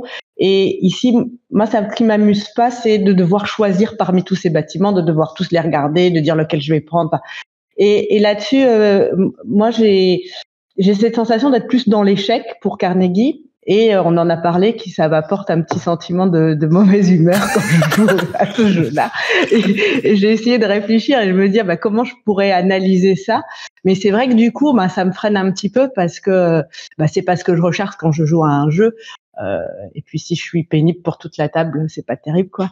Donc euh, il y a peut-être une piste avec ce que dit Alice sur euh, ce choix de bâtiment parce que c'est vrai que c'est pas quelque chose qui m'amuse beaucoup et j'aime bien pouvoir me dire allez j'essaye avec celui-là et tu, ça, ça marche pas comme ça. Carnegie c'est exigeant, c'est hyper équilibré, c'est c'est j'ai envie de dire c'est méthodique. Enfin oui il y a y a le système Porto Rico et, et moi je suis souvent décalé par rapport aux autres joueurs et je suis merde. je suis en merde. Donc, oh. en tout cas, il suscite beaucoup d'émotions. Euh, donc déjà, c'est quelque chose de très réussi euh, hmm. pour euh, pour un jeu. Mais euh, voilà, je, je pense que c'est un très beau jeu, une très belle mécanique, quelque chose de très abouti, très réfléchi mais malheureusement, moi, il me correspond moins. T'es pas, pas cliente, quoi. T'es pas cliente. Non. c'est italien, c'est pas italien, c'est belge. Alors, justement, c'est un peu. En plus, je connais bien Xavier, donc euh, c'est euh, c'est toujours le, plaisir de, enfin de, En tout cas, j'ai beaucoup d'admiration pour ce qu'il crée et ce qu'il a créé ici. Mais moi, ça me correspond moins. Ok. Très bien. Ben oui, alors moi j'ai relevé une, une, remarque dans le chat euh, de, de, Laurent qui disait euh, Est-ce que punitif c'est un défaut? Euh, Non, c'est un constat pour moi. Dans, dans le sens où il faut prévenir les gens mm. que le jeu peut être un peu punitif. C'est pas pour dire il est mauvais ou il est bon, c'est mm. juste pour dire est-ce qu'il vous correspond? Parce que je connais des joueurs qui détestent ces jeux punitifs et qui vont super mal réagir. Donc c'est pour ça que c'est important de pouvoir le signaler. Moi j'adore euh, ces jeux parce que pour moi, ça fait partie de l'ADN des jeux experts. C'est-à-dire qu'au bout d'un moment, si tu ne peux que bien jouer au jeu, je me demande si jusqu'à quel point il peut être expert en fait. Le, fait qu'il soit expert, pour moi, ça vient aussi de l'erreur potentielle, le fait de mal jouer, d'être en décalage. Et là, clairement, tu peux faire les mauvais choix, ou quelqu'un peut repérer que tu as fait certains choix, parce que l'interaction est bien présente euh, et les blocages existent. C'est-à-dire que j'ai vu des parties où tu enchaînes quatre fois la même action parce que personne veut faire d'ouverture aux autres, et c'est assez drôle parce que tu fais rien en fait dans la partie. Tu, tu déplaces, tu déplaces les mecs. Tu passes. parce que l'autre veut pas t'ouvrir le truc. Mais je vois bien. Mais, c'est assez intéressant en fait, c'est que c'est possible. Et pour autant, c'est des parties qui sont différentes. Donc ça pour moi, euh, c'est plus un constat et c'est plus pour aider dans les choix. Je pense et que... moi, sur le expert, est-ce que ça mérite l'étiquette expert? C'est pas punitif. Moi, je m'en fiche un peu de l'étiquette en vrai. Mais par contre, euh, le côté punitif amène une tension, une vraie tension de se dire ah là, faut pas que je loupe ça, machin et tout, ça se passe bien. T'es content quand t'as réussi à passer ton tournant de début de partie. Euh, moi, c'est un vrai plaisir de jeu ça. Et après, moi, mon, mon jeu idéal, il est punitif, mais quand t'as perdu, tu fais quand même tourner un petit truc qui t'apporte une certaine satisfaction. euh, voilà, moi je trouve que barrage, non mais barrage il est punitif, mais en vrai tu continues à construire, tu continues à t'installer, tu continues à faire des trucs. T'as perdu la partie, mais tu fais pas rien. Et t'essaies quand même d'optimiser un peu ton truc. Ah, intéressant, intéressant. Je n'avais pas, j'avais pas cette euh, cette vision. D'accord, très bien. Et euh, ok, bah moi, moi, je, je vois ça comme, euh, je suis d'accord avec avec Laurent et Dimitri. Hein, c'est une caractéristique effectivement. Je pense que dans le jury, c'est plus ou moins apprécié. je lisais Steve qui écrivait, pour moi, c'est un défaut. Alice qui vient de dire, pour moi, c'est c'est plutôt une qualité, un élément de tension et tout ça. Je suis plutôt côté Alice, mais il y a une limite à pas franchir pour moi. Il y a un moment donné où ça, ça m'emmerde quand c'est trop. Mais, mais voilà, mais je, je comprends tout à fait le. Je comprends le, le on a une Imperial Sim qui par excellence, oui. un jeu qui est punitif. Moi, j'adore en fait là euh, son, son, son côté, mais je sais qu'il y a des gens qui ont complètement euh, rejeté parce que pour eux, c'était trop stressant de pouvoir tellement passer à côté que après ils reviendraient quasiment jamais en fait. Euh, alors que ça fait partie pour moi dans certains jeux des tensions. J'apprécie pas que les jeux punitifs, mais quelquefois quand c'est bien intégré et que c'est très dépendant des choix et pas du hasard en fait. Parce que quand la punition est liée au hasard, ça j'aime beaucoup moins. En fait. C'est dur. c'est voilà. Ça met du challenge. Aime la entrant. le petit élément de surprise. Ok, très bien. Et euh, Dimitri, tu nous, tu nous donnes les, ouais, tu nous donnes les caractéristiques et on avance. Donc on va revenir sur des choses qu'on a pas mal dit en fait, avec un bon niveau d'interaction euh, centrale, avec cette euh, variation de la méca de Puerto Rico euh, qui est vraiment bien adaptée au jeu. Euh, ça crée de l'interaction, du suivi, et ça c'était le plus gros point positif qui est ressorti par les membres du jury. Ensuite, la fluidité du, du jeu et le plaisir immédiat. C'est-à-dire que on passe pas par des règles alambiquées justement euh, ou trop pointues avec trop de détails. Là, on rentre vite dans le plaisir de jeu. Mm. Euh, et ensuite, une qualité de matériel, notamment dans la version mm. KS, euh, qui a été assez soulignée parce que les gens ont pris un plaisir de manipulation du matériel, d'adaptation, de rangement efficace, rapide. En fait, voilà. pour les points et les limites, il y en a qui ont trouvé le jeu un peu austère. Mm. C'est-à-dire que ils, ont eu du mal à rentrer dans quelque chose. Ils l'ont trouvé euh, peut-être un peu à, la, on va dire à l'allemande, comme des fois on, le décrit, un peu froid. Euh, C'était le premier point qui est, qui est revenu. Euh, avec des tuiles de bâtiments qui ont des puissances un peu trop variables pour certaines, qui font que les ouvertures sont un peu de même type. C'est-à-dire quand les gens connaissent, ils vont prendre euh, des bâtiments, ça va pas forcément déséquilibrer la partie, mais individuellement, qui oblige à prendre certains types de bâtiments au lancement par rapport à d'autres. Donc avec un choix qui se limite un petit peu. Euh, et ensuite, un effet euh, win-win qui, quand on rate vraiment, qu'on passe à côté, qu'on est en décalage vis-à-vis des autres, peut être fatal. Et justement, c'est un peu le côté punitif dont on a parlé. Donc voilà ce qui ressortait. C'est, c'est vraiment un peu le, le miroir des discussions qu'on a eues là. Ouais, tout à fait. Euh, bien, bien raccord. Je, trouve qu'on a fait une, une image assez, euh, assez cohérente en fait de, de Carnegie dans l'ensemble. Et donc on va avancer vers, euh, vers le numéro 4. Numéro 4 de, qui rate le podium, mais à un cheveu. Un point, littéralement incroyable. C'est une folie. Et il s'agit donc de Revive. Revive qui arrive quatrième euh, sur l'ensemble de la sélection, donc euh, pile à mi-parcours. Et donc, euh, ben, ouais, incroyable ce, match Revive Tiletum. Et donc, Tiletum qui l'emporte vraiment d'un point. Revive, qu'est-ce que c'est le jeu qui m'a le plus. Je crois que quand j'ai vu la boîte, j'ai le... c'est le jeu sur lequel j'ai le plus halluciné. En fait, les autres me semblaient bien raccord dans le thème, euh, enfin euh, dans, dans, la catégorie expert machin. En voyant Revive, j'ai pas j'ai pas compris. Et d'ailleurs j'ai toujours pas bien compris euh, de quoi il s'agissait. mais mais mais mais pourquoi pas? Mais alors voilà. C'est la nouvelle planète. Et ben graphiquement, moi je je je, je, je n'y arrive pas. J'adore euh, tout ce qui est au centre, le paysage, la fleur, machin, tout ça, euh, très sympa. Et alors, tout ce qui est autour, je trouve ça euh, répugnant. je, je, je, ça, me, ça me dégoûte vraiment le, le truc de d'alien qu'ils ont mis autour. Je, je, je comprends pas et ça m'a ça m'a vachement bloqué pour y aller. J'y suis allé à reculons et j'ai fait j'ai fait quand même quelques parties, mais waouh, j'ai vraiment du mal avec ça quoi. Voilà, c'était l'intro. Et allez-y, dites mieux maintenant. Bah, moi, je, suis passé outre en fait. Euh, ouais. Parce que c'est pas que j'ai pas accroché aux, illustrations, mais ça m'a pas dérangé, ça m'a pas empêché de rentrer dans le jeu. Et avec Revive, euh, comme avec Tiletum, euh, qui, sont les deux jeux justement qui étaient en concurrence, j'ai pris un plaisir dès la première partie et j'ai tout de suite envie de rejouer. Hmm. C'est-à-dire que j'ai fait des stratégies et en commençant à faire mes stratégies, je me suis dit la prochaine partie, je vais essayer autre chose. Euh, et parce que je pense qu'il y a moyen de gagner d'une autre façon, qu'il y a moyen d'avoir un autre rythme. Les asymétries des personnages, il y a des déséquilibres. Euh, donc on en a au fur et à mesure, il y en a certains qui sont peut-être un peu trop forts, donc on limite mmh. pour que les gens aient à peu près les mêmes forces de, de personnages. Mais il y a des asymétries un petit peu fines, justement, qui peuvent permettre de faire des choses différentes sans être bloqué dans la stratégie liée au personnage. Euh, on peut trouver des voies détournées et ça euh, j'adore quand j'ai la liberté de jeu une fois qu'on a lancé la partie. Mmh. Et là il y a une vraie liberté, il y a un vrai impact par rapport aux objectifs qui sont sortis qui sont pas les mêmes selon les parties, qui orientent euh, vraiment les enchaînements.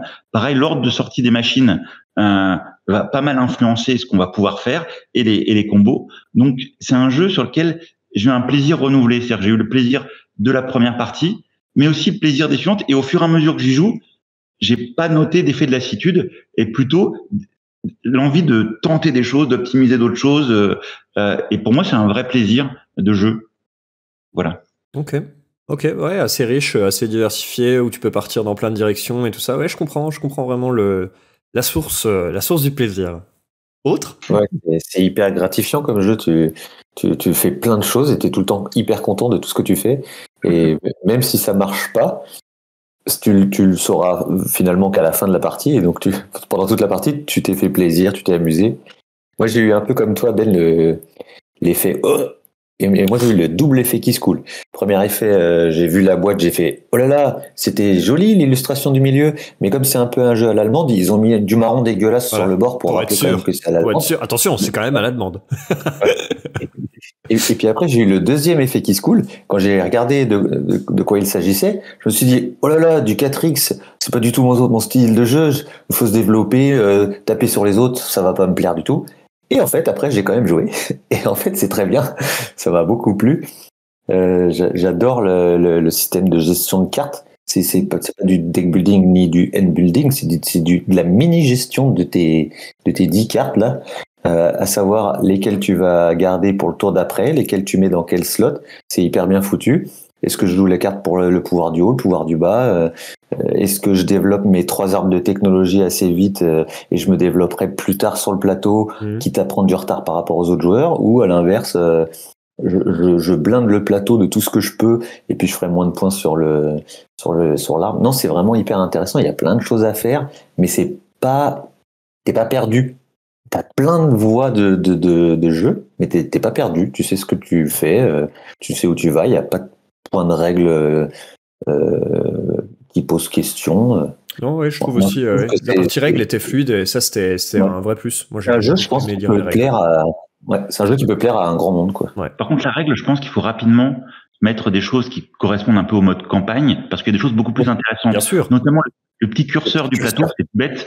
Le petit curseur qui fait gagner une ressource, c'est pas très intéressant dans l'action qu'on on fait euh, au début. Par contre, prendre le même curseur et, virer une carte de quelqu'un pour prendre les ressources dans le bon timing, beaucoup plus intéressant. Pose une double question de j'aide quand même un peu l'autre, mm. donc est-ce que je vais le faire? Comment je le fais? Et l'opportunité de voir les cartes qui vont arriver parce qu'on mm. voit les cartes des autres. Et ça, je trouve que c'est déjà beaucoup plus fin, rien que ce petit détail-là. Euh, et donc il y a quelques éléments comme ça qui, pour moi, euh, doivent être intégrés dès le début parce qu'elles font partie du jeu. C'est même dommage qu'elles elles aient pas été. Un, on, on dise qu'il faudra les intégrer plus tard. Non, c'est pas compliqué et ça rajoute au plaisir. En fait, ils ont voulu copier euh, ce que Pfister a fait avec Maracaibo en, en ajoutant 3-4 points de règle euh, avec les parties d'après. Mais en fait, non, faut que tu joues tout de suite avec toutes les règles. C'est pas plus compliqué, mais c'est beaucoup plus intéressant. Oui, oui. là, ça marche pas. Puis en gros, il y a cette règle du Switch et après, le reste, c'est de la mise en place avancée. Donc en gros, euh, si on avait dans un livret mise en place avancée, on choisit si on joue avec ou pas. Le draft de cartes avec l'équipe de cartes en première partie, est-ce que les gens ont envie de jouer avec des decks potentiellement déséquilibrés en première partie ou pas? Ça, pour moi, ça se discute. Euh, mais le reste, de toute façon, euh, les autres points, c'est juste vous avez le choix parmi plus de tuiles pour jouer. Bah, tu joues avec ou pas. Plus, d'asymétrie. Plus qu'on des pouvoirs. Plus d'asymétrie euh, sur les peuples avec le, côté nuit. Oui, c'est ça. Mm. Mais de toute façon, comme tu choisis un peu quel côté tu fais, tu peux simplement prendre des peuples plus simples si tu as envie de jouer un peu plus simple. et, et, les, les, cartes que ça rajoute avec des pouvoirs de cartes sont pas intractables. C'est pas des gros gros pouvoirs. Il y a des petits trucs de fiole en plus, mais. C'est vrai. Ça va. C'est vrai, c'est vrai, effectivement. Anne 4, Et le texte est illisible. Anne bah, moi, j'ai beaucoup aimé, j'aime bien explorer. Euh, je trouve qu'on peut faire différentes façons. Euh, la, la première partie, j'avais tout de suite été sur la euh, sur le plateau, explorer, retourner, gagner les petits bonus immédiats, pas nécessairement me placer sur la suite. voilà, il est il est très agréable. Enfin, voilà, moi, j'ai beaucoup aimé Revive et je suis contente de sa place. Donc, c'est vrai qu'il y a plein de personnes qui ont aimé parce que quoi qu'il arrive, ils sont fait plaisir dans leur développement. C'est-à-dire que des fois, tu vois pas trop arriver les points de victoire qui peuvent être un peu mortels à la fin entre les multiplicateurs, les choses. Euh, et sur le plateau, tout le monde a à peu près les mêmes nombres de points durant la partie. Enfin, ça va pas être des écarts énormes en cours de partie. Ils vont se déclencher plutôt la fin. Et tout le monde a la satisfaction de pas être bloqué parce qu'on peut quasiment toujours poser une maison. Les ressources, on va en rechercher assez facilement. Enfin, c'est, il n'y a pas cette sensation de ah j'ai raté, je peux plus rien faire. Mm. Non, on a le plaisir jusqu'au bout. Donc j'avais même vu des gens qui faisaient des scores mais complètement euh, ratés et, sortir de la partie en disant ah ben j'ai vraiment bien aimé, je me suis fait plaisir. Alors que c'est pas le cas dans tous les jeux en fait. Mmh ouais, ouais, effectivement, effectivement, j'adhère vachement à cette sensation de on fait quelque chose, on, accomplit un truc, même si euh, même si c'est pas c'est pas gagnant à 100%, au moins euh, il y, a, y, a, des choses qui se développent et tout ça. Ok, Julien, est-ce que tu avais bien aimé Revive ou pas? Je sais, je m'en rappelle pas. Eh ben moi je pense que je suis passé à côté du jeu. Ah. J'ai fait trois parties et euh, j'ai senti qu'il y avait une, une émulation pour ce jeu dans le cercle, enfin dans les cercles de joueurs avec qui j'ai l'occasion de jouer. Bah en fait, ça a pas pris avec moi. Je je dis pas que je m'ennuie, mais euh, qu'est-ce qui bah, qu'est-ce qui, dérange Qu'est-ce qu'il y a comme élément qui te qui te convient pas?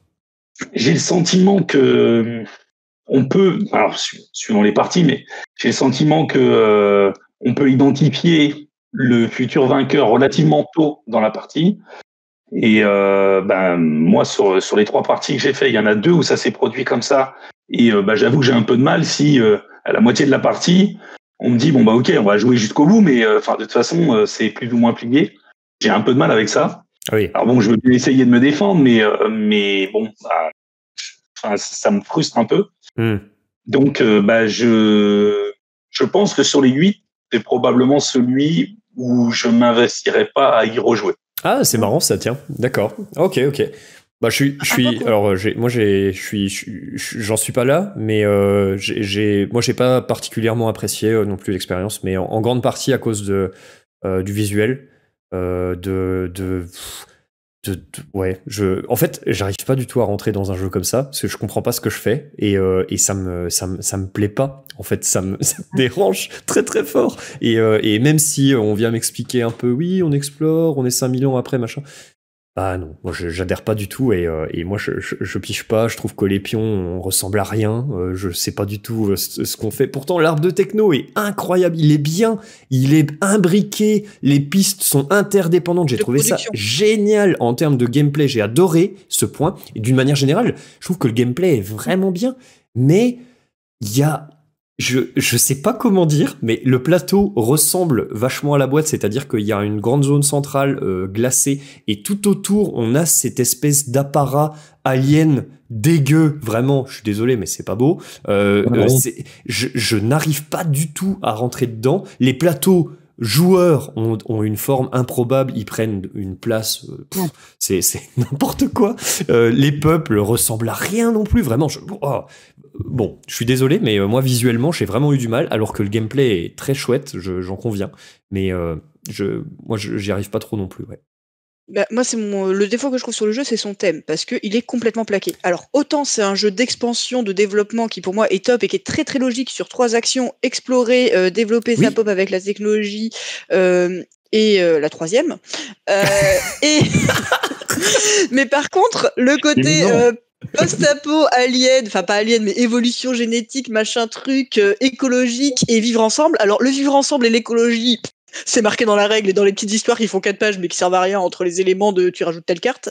Euh, c'est n'importe quoi. Hmm. Et pour moi, ça dessert un peu le jeu. Oh bah. Après, moi, je trouve vraiment le jeu très chouette, très très plaisant. Euh, faut le prendre comme un jeu de développement et d'expansion, euh, tout hmm. simplement. Et là, le thème, il est très clair parce que les actions sont très très identifiées, elles sont assez logiques entre elles, les tours s'enchaînent bien. Euh, un truc qu'on n'a pas dit sur Carnegie et qui est vrai sur Revive aussi, c'est que les parties sont assez courtes dans les mmh. deux cas. Euh, ça reste des jeux experts de temps assez borné, ce qui est moins la mode en ce moment, j'ai quand même l'impression. Et là, on est sur des parties de deux heures où on sait qu'on va boucler euh, sans avoir besoin de se dire je me couche tard. c'est carrément, carrément honnête. C'est vrai que je n'avais pas pensé au, temps, au temps de jeu. C'est carrément sympa, effectivement. Bon. Ok. Est-ce que. je pense que tout le monde s'est exprimé sur le jeu. Dimitri un petit, un petit bilan de tout ça donc, euh, bah, tout de suite, un, un, bon mix entre euh, euh exploration et développement, euh, avec la machine de deck building euh, qui, qui, se met en place, les, les, les cartes qui arrivent. une bonne accessibilité et un plaisir de jeu immédiat, ça c'est ce qu'on c'est ce qu'on a dit. En fait, il n'y a pas besoin de, de trop s'investir pour se faire plaisir. ensuite, l'asymétrie a été notée comme assez fine pour avoir des parties qui sont un petit peu différentes les unes des autres, sans pour autant acter une stratégie définitive unique pour toute la partie. Donc euh, voilà, ça c'est les points positifs qui sont vraiment ressortis sur le jeu. Ensuite, ce qui a été signalé, c'est un déséquilibre quand même entre les peuples. Donc faire attention, parce qu'il y a quand même un écart entre les meilleurs peuples et les plus pourris, de donner un peu des choses homogènes pour pas qu'il y ait trop d'écart, ou de donner les plus forts aux gens qui ont le moins joué, peut-être pour équilibrer un peu, ça peut être aussi une solution. Euh, ensuite, un problème lié à l'opportunisme et lié à l'ouverture de certains joueurs. C'est-à-dire que si quelqu'un n'est pas habitué, il va pouvoir ouvrir des zones, faire des explorations au mauvais moment, et ça peut vraiment faciliter le jeu de certaines personnes qui, qui suivent. Donc euh, ça, c'est inhérent à certains jeux, mais là, on a ces marques d'ouverture, notamment avec euh, avec les explorations en fait. Euh, et, et pour finir, ben les gens reviennent sur le thème en fait, le thème, enfin l'absence de toute une partie du thème ou la non correspondance, on va dire, de toute une partie. Clairement, Effectivement, c'est euh, la partie jeu à l'allemande, comme disait Steve. Euh, c'est bien, euh, bien gardé, bien maintenu. Donc, donc c'est chouette. C'est bien qu'on puisse se baser sur des éléments fixes comme cela de temps en temps. Ok, on passe. La suite demain. Comment on va passer, on va passer au podium bien sûr, et on va attaquer par la troisième place. Il s'agit de Tiletum. T et Tom, euh, le, T-Games euh, annuel, on va dire. Enfin, un des deux T-Games annuels, en l'occurrence, puisqu'il y, en avait, euh, y en avait un autre avec lui qui n'a pas été retenu. Et, donc, bah, et par un, duo d'auteurs qu'on connaît bien, chez Board Dice comme d'habitude, et avec un système très très à l'allemande, un visuel de boîte hyper étonnant. Je me suis dit, oh, waouh, ça va être festif, il va y avoir des jongleurs, des trapézistes, machin partout. Que dalle On a une petite map blanche bien claquée, pas jolie du tout, bien marronasse comme on aime à l'allemande. Encore une fois, on ne varie pas là-dessus, ça c'est incroyable. Et, euh, la boîte euh, était, trop belle pour être vraie. Voilà, je me suis fait avoir. Mais, euh, mais voilà, le jeu, le jeu a, fait ses preuves, invisiblement. Hein, il arrive troisième. Et, et donc, qu'est-ce qu'on peut dire de Tom? Moi, je, je, je, je m'en fous, je commence. meilleur rapport temps profondeur de jeu de toute la sélection, je pense. Euh, temps de jeu, profondeur, pour moi, c'est le meilleur. C'est un jeu qui dure pas longtemps. C'est un des plus équilibrés pour moi. Et ah, puis, c'est surtout le jeu pour les amateurs de combos, enchevêtrement, enchaînement.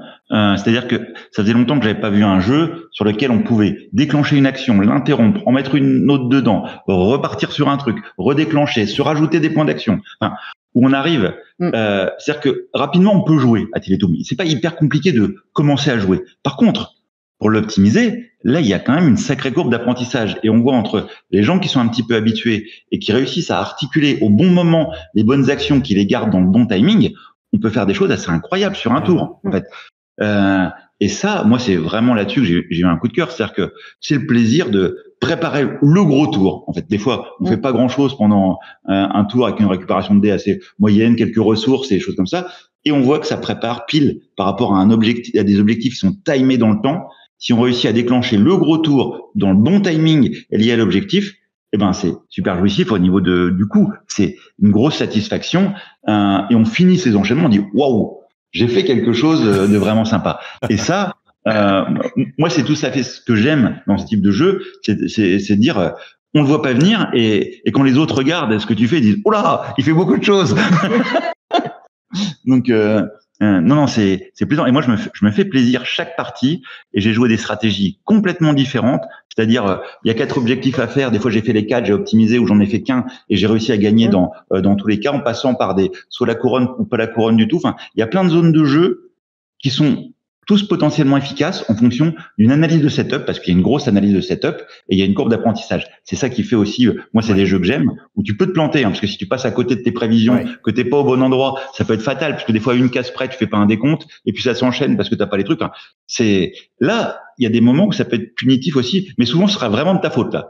euh, quand tu rates un, un truc, euh, ou parce que quelqu'un a pris le dé que tu voulais, mais tu le sais, enfin, c'est le cycle du jeu. Et cette, ce système de jeu où tu prends des dés qui vont déterminer à la fois le type d'une ressource, le nombre, et qui vont avoir comme pendant l'intensité de l'action qui, vont, qui va être associée. C'est-à-dire plus on aura de ressources, plus l'action sera faible euh, en termes d'intensité. Euh, je trouve ça ultra efficace euh, et très plaisant. En fait, du génie. Ouais, mais ça, ça reprend, juste pour, pour dire ça, pour moi, ça reprend vachement le, ce, qu'on ce que j'ai trouvé dans Tekenu, euh, sauf que ça combine les deux effets. En fait, dans Tekenu, on devait choisir. On devait soit faire une action, soit faire de la production de ressources. Et moi, j'aimais pas trop euh, faire un tour de prod. Je me disais, putain, mm. c'est un tour où je fais rien. c'est chiant. Et en fait, là, la combinaison des deux avec le pendant, le complément asset, là, comme tu disais, bah, c'est hyper satisfaisant parce que t'as toujours les deux. Il t'en manque jamais un. Même si tu prends qu'une ressource, bah c'est pas grave, tu fais six actions. Ou alors tu vas juste passer un tour à prendre six ressources, mais t'as quand même un petit morceau d'action que tu vas en plus pouvoir compléter avec ce que tu disais, tous les combos de Joker dans tous les sens là. Et, mm. et ça c'est c'est hyper agréable, je trouve. Il comble en fait la faille qu'il y avait dans Tekkenu pour moi. Mon gros coup de cœur de sa voisine aussi. Hein. je savais, je savais toi, que tu l'avais immédiat, c'est immédiat, c'est coup de cœur. Et alors c'est un jeu où j'ai autant de plaisir à l'expliquer, à le transmettre, à vraiment donner ah envie aux joueurs d'y jouer. Et je trouve qu'il est très très plaisant à expliquer. Euh, ça, ça va vite, c'est surpris. Je suis surpris chaque fois. Je dis bah tac, ça y est, c'est expliqué. Allez, hop, on peut démarrer. Et, euh, et oui, moi c'est en toutes ces petites actions qu'on peut, euh, comme tu dis, imbriquer, qui sont bêtes et tout ça, moi j'adore. Euh, enfin voilà, donc moi c'est gros, gros, gros, gros coup de cœur. Euh, et je suis contente, ça a été mon coup de cœur parce que ça s'est joué. Hein, J'avais envie ah de ça sur le podium. Donc oh, c'était limite. Hein, c'était vraiment très très juste, hein, incroyable. Ok, ok, très bien. Julien, c'est un coup de cœur pour toi aussi, tu es Tom? Les Tigel, là pour le coup, c'est ma cam. Ah, voilà. clairement, c'est les jeux que, que je vais suivre. Alors, avec plus ou moins de, de, de plaisir sur certains. Tekkenu, je vais moins friand que Teotihuacan, par exemple. Mais clairement, les T-Games, c'est les jeux que je vais aller euh, jouer parce que je sais que la plupart du temps, ça va me plaire. Ça correspond. Euh, Anne-Cat l'a très bien décrit et j'ai eu le privilège que pour ma première partie, c'est elle qui m'a expliqué le jeu. Donc autant dire que là, T-Games, Anne-Cat qui explique, euh, tout était réuni pour que ça, ça passe. Et effectivement, bah, moi, c'est très bien passé. Euh, je suis complètement d'accord avec ce que tu dis sur le temps de jeu. Euh, enfin, si on va à l'inverse avec un Weather Machine dont on a parlé tout à l'heure, bah là on est sur un jeu qui est beaucoup plus ramassé. Ah oui. Et, euh, et, mais, mais, pour autant, bah, il y, a, y, a, ces quatre manches et c'est plaisant quoi. Et allez voilà, j'ai les j'ai les quatre objectifs, je les connais. à moi de m'organiser pour pour faire en sorte que bah, j'arrive à les faire scorer le mieux possible. Clairement. Non, non, c'est assez chouette, effectivement, euh, comme sensation. Euh, euh, Alice, oui Alice, t'en as pas parlé? Un autre truc que j'aime beaucoup sur le jeu, moi, c'est l'interaction. Il y a beaucoup d'interactions, d'aller couper l'herbe sous le pied à l'autre, d'aller piquer un peu ce qu'il veut, d'aller faire des trucs, tout en laissant des opportunités de faire quand même d'autres choses. Mm. C'est de l'interaction semi-agressive, pas punitive, sans, c'est pas de l'attaque directe, mais voilà. Et il y a vraiment des effets de mini-course sur plein d'éléments du mm. jeu, que moi, c'est toujours quelque chose que j'aime beaucoup. Euh, voilà, et j'aime beaucoup cette organisation de scoring avec qu'est-ce qu'il faut décompter à quel tour, euh, comment est-ce que je renonce à quelque chose pour faire mieux sur autre chose. Euh, voilà, c'est des sensations de jeu qui sont très agréables. Moi, j'ai beaucoup beaucoup aimé. Mmh. ça a été un de mes plus gros coups de cœur et c'était une de mes plus grosses attentes sur SN. En y rejouant un peu plus, c'est vrai qu'il a un côté un peu froid qui lui donne un côté peut-être un peu moins addictif que d'autres pour moi, mais je l'aime beaucoup. Enfin voilà, ça fait, je, l'aime vraiment beaucoup beaucoup et je me surprends à pas avoir envie de jouer tous les jours, mais seulement tous les deux jours. à ce point-là. Ok, très bien. Et Steve, alors Je joue à tous les jeux tous les jours. Steve, alors, pour terminer alors, moi j'ai fait ma première partie avec Dim. C'est toujours compliqué de faire une première partie avec Dim parce qu'on sait qu'il est bon. Donc j'ai fini juste derrière lui et pourtant j'ai eu la sensation d'avoir gagné la partie parce que j'ai réussi de super combos et du coup j'ai réussi à finir loin derrière le troisième et quatrième. Et, et c'est une sensation qui est hyper agréable, euh, les jeux comme ça, où tu arrives à te faire plaisir, euh, tout, même tout seul, avec des, des enchaînements d'actions euh, que tu prépares depuis plusieurs tours. Quand tu arrives à faire ça et que ça fonctionne, c'est toujours hyper agréable. Euh, après, effectivement, il y a une grosse analyse de setup, il y a, y a une, une bonne courbe de progression. Et c'est vrai que cette partie, euh, comme tu disais, euh, qui améliore Tekenu, là, les dés. pour, pour moi, c'est du pur génie. c'est très très fort. C'est de l'aléatoire entrant, euh, comme il y a dans plein de jeux. Euh, tu prends un dé, tu fais une action, il y en a dans plein de jeux. Et pourtant, ça marche beaucoup mieux parce que justement, tu as cette partie où tu vas un peu produire et un peu faire des actions. Et c'est toi qui jauge. Est-ce que tu veux plus d'actions, plus de prod? Ça marche trop bien. Et puis un détail, c'est l'intelligence d'avoir accepté la modification de dés qui seront pas trop chaotiques parce que c'est pour deux heures on modifie la valeur d'un dé et qui changent toute l'orientation stratégique ah bah à partir du moment où on a cette appréhension là et qui ouvre le champ des possibles de façon énorme par rapport à un jeu figé sur euh, sur une valeur et ça fonctionne très très bien. Ah bah, Avec des spécialisations possibles aussi. Hein. Vraiment, on peut avoir des axes euh, qu'on préfère vraiment beaucoup par rapport à d'autres mmh. euh, et se dire je tente un truc pour une partie, comment ça se passe. Parce que tu pourrais te dire que de la sélection de dés, si quelqu'un prend le dernier dé euh, de, l'action que tu voulais, t'es es dégoûté, tu peux plus rien faire, t'as loupé ton tour. Mais non, t'as toujours cette possibilité de euh, payer deux heures, décaler le dé, refaire quand même une action. Euh, donc ça te coûte un peu, mais ça fonctionne. Alors, et si t'as prévu, en fait, si t'as 6 heures, tu peux faire l'action que tu veux. C'est ça. Tu prévois d'avoir un peu d'or, t'as perdu quelques petites actions pour le faire, mais t'as l'or. Et du coup, ça marche bien. Anne-Cat, elle a mis 15 sur 10 tellement elle aime le jeu, mais on n'a rien le droit de lui dire. Non, j'ai même pas mis 10 parce qu'il y a femme du patron, alors on n'a pas le droit de lui dire. Et euh, j'ai même pas mis un, un, 10 au jeu parce que j'ai plein de jeux qui, qui méritaient aussi. Et après, c'est sa tactique à chacun euh, aussi de répartir nos fameux 20 points euh, au mieux, euh, en fonction de ce qu'on entend aussi. Mais euh, voilà. Mais gros, gros, gros coup de cœur, je vous le conseille mille fois. Euh, et moi, je suis pas une grande fan des T, mais j'aime beaucoup les auteurs. Et je suis pas sûre qu'ils avaient fait d'autres euh, jeux chez. Enfin, quand vous dites euh, les T Games là, est-ce que ces deux auteurs italiens avaient déjà créé des jeux dans les T Games? C'est eux les T Games. ah, mais il y en a un, c'est Newton, non? Ouais. Alors je sais plus. Ils ont collaboré ensemble une fois, mais je sais plus sur quel jeu. Luciani, il a fait Newton. Ah bah oui, mais sinon, tous les autres T-Games, c'est Tassini. Ah voilà, tout seul. Bah, en fait, moi, j'aime Newton. C'était mon petit deuxième message, coup de cœur. tu, aimes, plus Luciani que Tassini, toi. Voilà, bah, moi, j'aime mieux Luciani. Après, on a un ADN qui est un peu différent des autres, euh, dans le sens où il y a beaucoup de thé où, en fait, il y avait des, des effets de bord à surveiller. C'est-à-dire, quand on faisait une action, il fallait pas oublier de prendre des points à droite, à gauche, et il y avait moins de combos enchevêtrés. Là, on a un petit ovni, je dirais, par rapport euh, à d'habitude. Il y a des points communs, des évolutions de certaines actions, mm. et on rentre dans la tradition là du, du, vrai jeu de combo qui est un peu moins présent des fois dans d'autres, et avec moins de fioritures autour de déclenchement, je veux dire, à surveiller. Ouais, ouais, ouais, d'autres, euh, d'autres choses. Ok, ouais, euh, effectivement. Faut reparler de l'édition quand même. Ouais, oui, oui, oui, oui. Alors effectivement, il y a quand même euh, des petits, euh, des petits trucs. De les couleurs de ressources, les dés. Euh. Voilà, il y a quand même des petits trucs qui fâchent un peu et, euh, et qui sont presque incompréhensibles en fait parce que on se dit mais qu'est-ce qui s'est passé en fait? Comment on a pu faire des dés comme ça? Alors la théorie euh, qu'on avait, c'était il y a eu une erreur à la sortie d'usine, ce qui est effectivement quand même fort probable, mais les couleurs effectivement des dés et des ressources en elles-mêmes sont, sont d'une proximité étonnante. Alors, ils ont fait le coup euh, la, dernière fois déjà avec euh, tous les autres jeux, c'est toujours bah, pareil. Euh, toujours pareil. toujours pareil. tout, était de la même couleur. On dirait qu'en fait, eux, ils sont daltoniens et du coup, ils s'en foutent des couleurs. Et vas-y, on fait ça comme ça et ça passera très bien. Alors après, les, les, les, dés, le, le côté en fait aléatoire qui peut arriver dans, dans la fabrication, c'est aussi que comme le revêtement et la texture des dés n'est mm. pas la même, avec un même pantone, on peut arriver à des choses en sortie d'usine qui, quand on le voit, sont assez différents de ce qu'on a programmé. Alors peut-être presque, il y a, peut-être pas eu cette vérification, que ça n'a pas choqué les gens quand ils ont vérifié ce décalage. Mais c'est vrai que pour certains, entre les, trois niveaux de gris, ça peut être un peu gênant, on va dire, euh, euh, parce que on se retrouve avec un, un, un élément qui est bleuté d'un côté, plutôt gris de l'autre parmi une variation, et qui est compliqué euh, et qui génère beaucoup d'erreurs. Ah bah, Alors on a une petite astuce, hein, on peut vous la livrer. Nous, à côté de la roue, on met les trois ressources euh, dans l'ordre des couleurs, la laine, le, je vais évidemment oublier, euh, et la pierre. Et on les met par ordre croissant, enfin de couleur, enfin d'intensité, d'intensité, pardon. Ouais.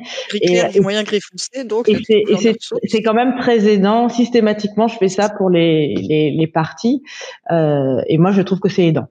Nous, on a une autre astuce. On a changé la couleur des dés. C'est vrai? On a pris rouge, jaune, bleu, vert. Et comme ça, au moins, il n'y a aucun problème. Ça prend toute la ça? On, a, pris d'autres dés et puis ça marche très bien. Moi, je me suis posé la question de savoir si, par exemple, pour la laine, ils n'avaient pas pris des dés blancs parce qu'en fait, tous les dés, le nombre sur les faces est indiqué en blanc. Mm. Donc je me suis dit, en fait, ils n'ont pas pris des blancs pour la laine parce qu'ils veulent pas mettre le noir sur le blanc. Et c'est peut-être pour ça qu'ils ont gardé le gris clair. Mais bon, à un moment, il euh, faut peut-être aider les joueurs. Quoi. Ouais, mais ça fait joli. Effectivement. Allez, Dimitri, tu nous lis la synthèse? Alors, euh, la synthèse. Premier truc, c'est cette mécanique d'enchevêtrement, enchaînement d'action avec euh, plaisant. versus derrière le système de récupération des dés, parce que c'est d'un côté enchevêtrement combo, ensuite la récupération des dés, c'est les deux gros points forts. Parce que dans la récupération des dés, les gens ont noté, ont adoré cette compensation entre je récupère beaucoup de ressources et je choisis le type. Euh, si j'en récupère 6, j'ai qu'une action ou inversement. Ce complément à 7 euh, dans récupération de ressources, nombre d'actions, il a été apprécié par quasiment tout le monde. Euh, ensuite, les, les, les scoring et leur variété. Que selon les parties, il y a quatre scorings qui seront différents et il y a deux scorings communs et qui sont des scorings croisés. Les gens apprécient qu'on soit obligé de faire des choses aussi un peu différentes, qu'on soit pas sur une filière unique parce qu'elle peut pas être optimisée la totalité. Donc le fait de devoir explorer différentes zones du jeu sans pour autant tout faire.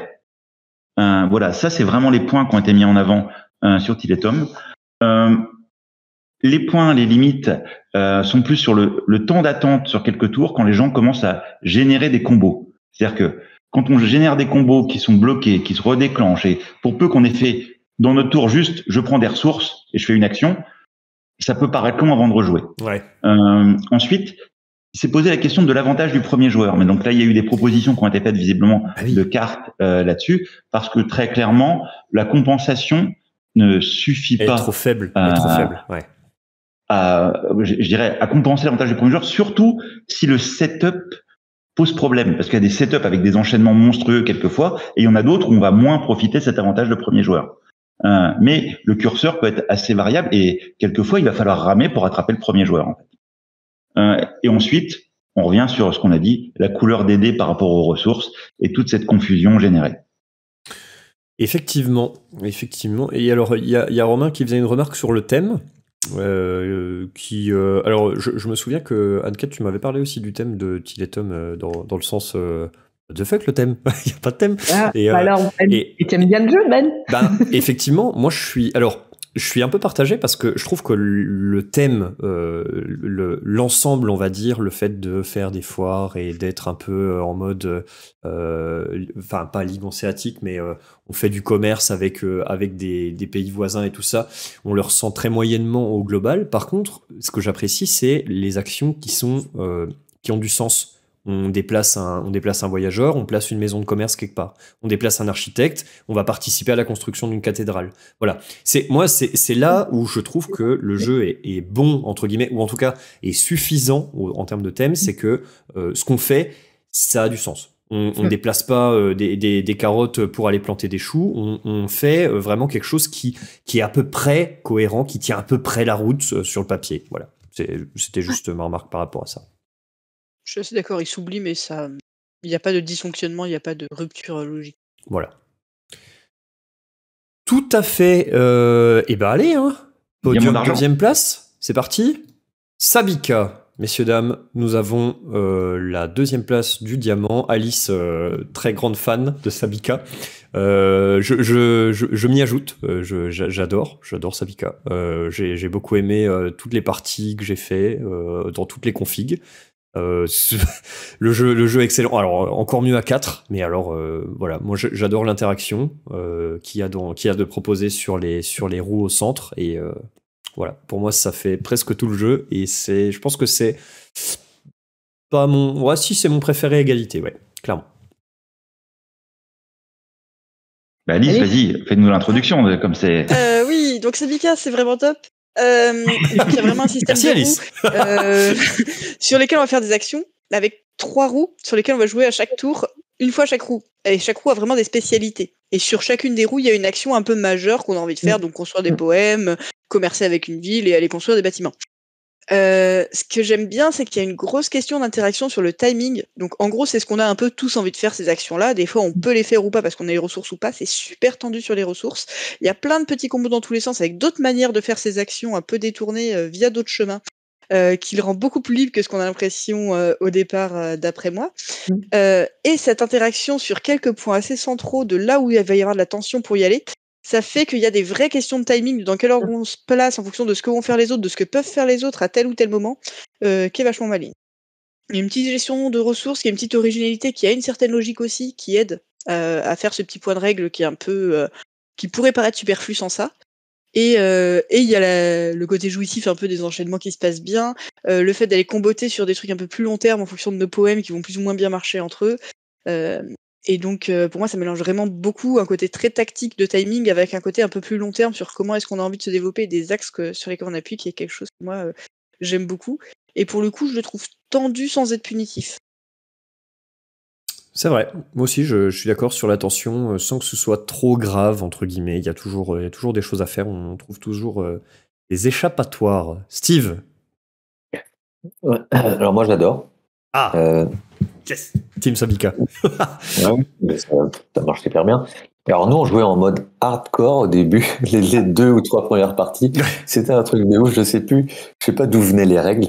Mais tous les points de règles, on les jouait, mais vraiment en mode hardcore. Par exemple, l'action principale et l'action secondaire, nous, on s'obligeait à faire l'action secondaire en deuxième.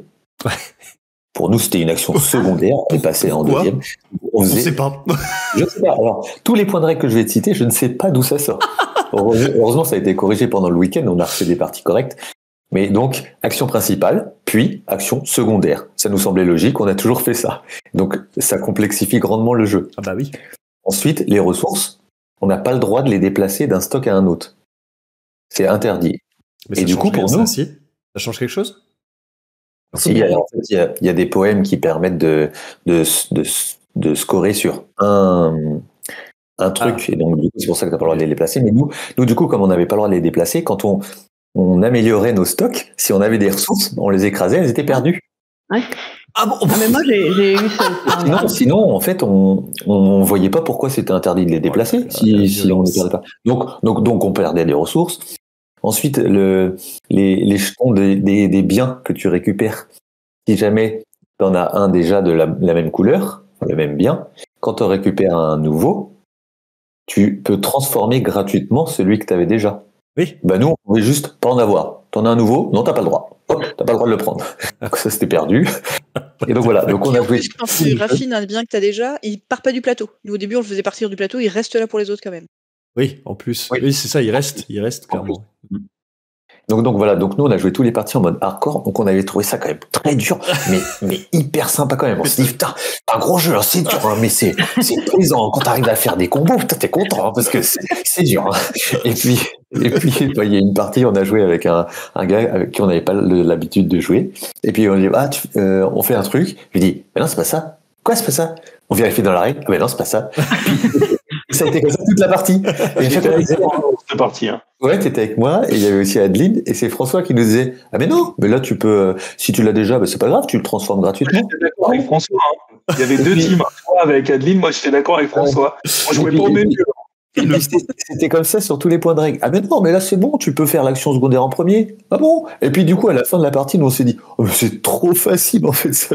Il n'y a, a, aucun challenge, tu peux faire tout ce que tu veux. C'est non, mais c'est voilà, c'était une anecdote euh, marrante, mais tout ça pour dire que même avec des mauvaises règles super compliquées, on avait déjà aimé le jeu. et du coup, avec les, règles correctes, on a pris un ah, énorme plaisir. C'est encore mieux, c'est encore mieux, bien sûr. Oh, ça marche très, bien. C'est pour moi, c'est bien meilleur que Bitoku, le même auteur ah de l'année dernière, Large. qui était déjà un bon jeu. Hein, mais je trouve que le thème est, mieux implémenté. Le plateau est quand même plus euh, lisible, mm. même si pour moi il y a encore des icônes un peu petits. Ouais. Euh, il y a une anecdote rigolote. Au début, ils voulaient en faire un jeu facile pour tout le monde, éducatif pour les scolaires et les touristes euh, sur la Landra. Le, ah, ça, but a changé. Ça a un peu dérivé. ça, là, euh, on a, on a changé de voie. Le cahier des charges a augmenté au milieu. Donc du coup, j'ai pas trop de, de, de, trucs à dire en plus. Vous allez donner des bons points, je pense. Mais moi, c'est juste cette anecdote assez marrante sur le fait que c'est un bon jeu. Yes. Dim, t'as pas parlé, c'est la première fois que tu parles pas sur un jeu. Qu'est-ce qui t'arrive? Moi, je suis passé, mais bien à côté. Pourtant, alors je me suis dit, euh, première partie, euh, est-ce que j'ai fait des erreurs de règles, des choses comme ça? J'ai rejoué avec un, autre groupe, encore un troisième groupe. Mais non, en fait, euh, je passe vraiment à côté. En fait, c'est que j'ai une sensation de manque de de progression dans les actions.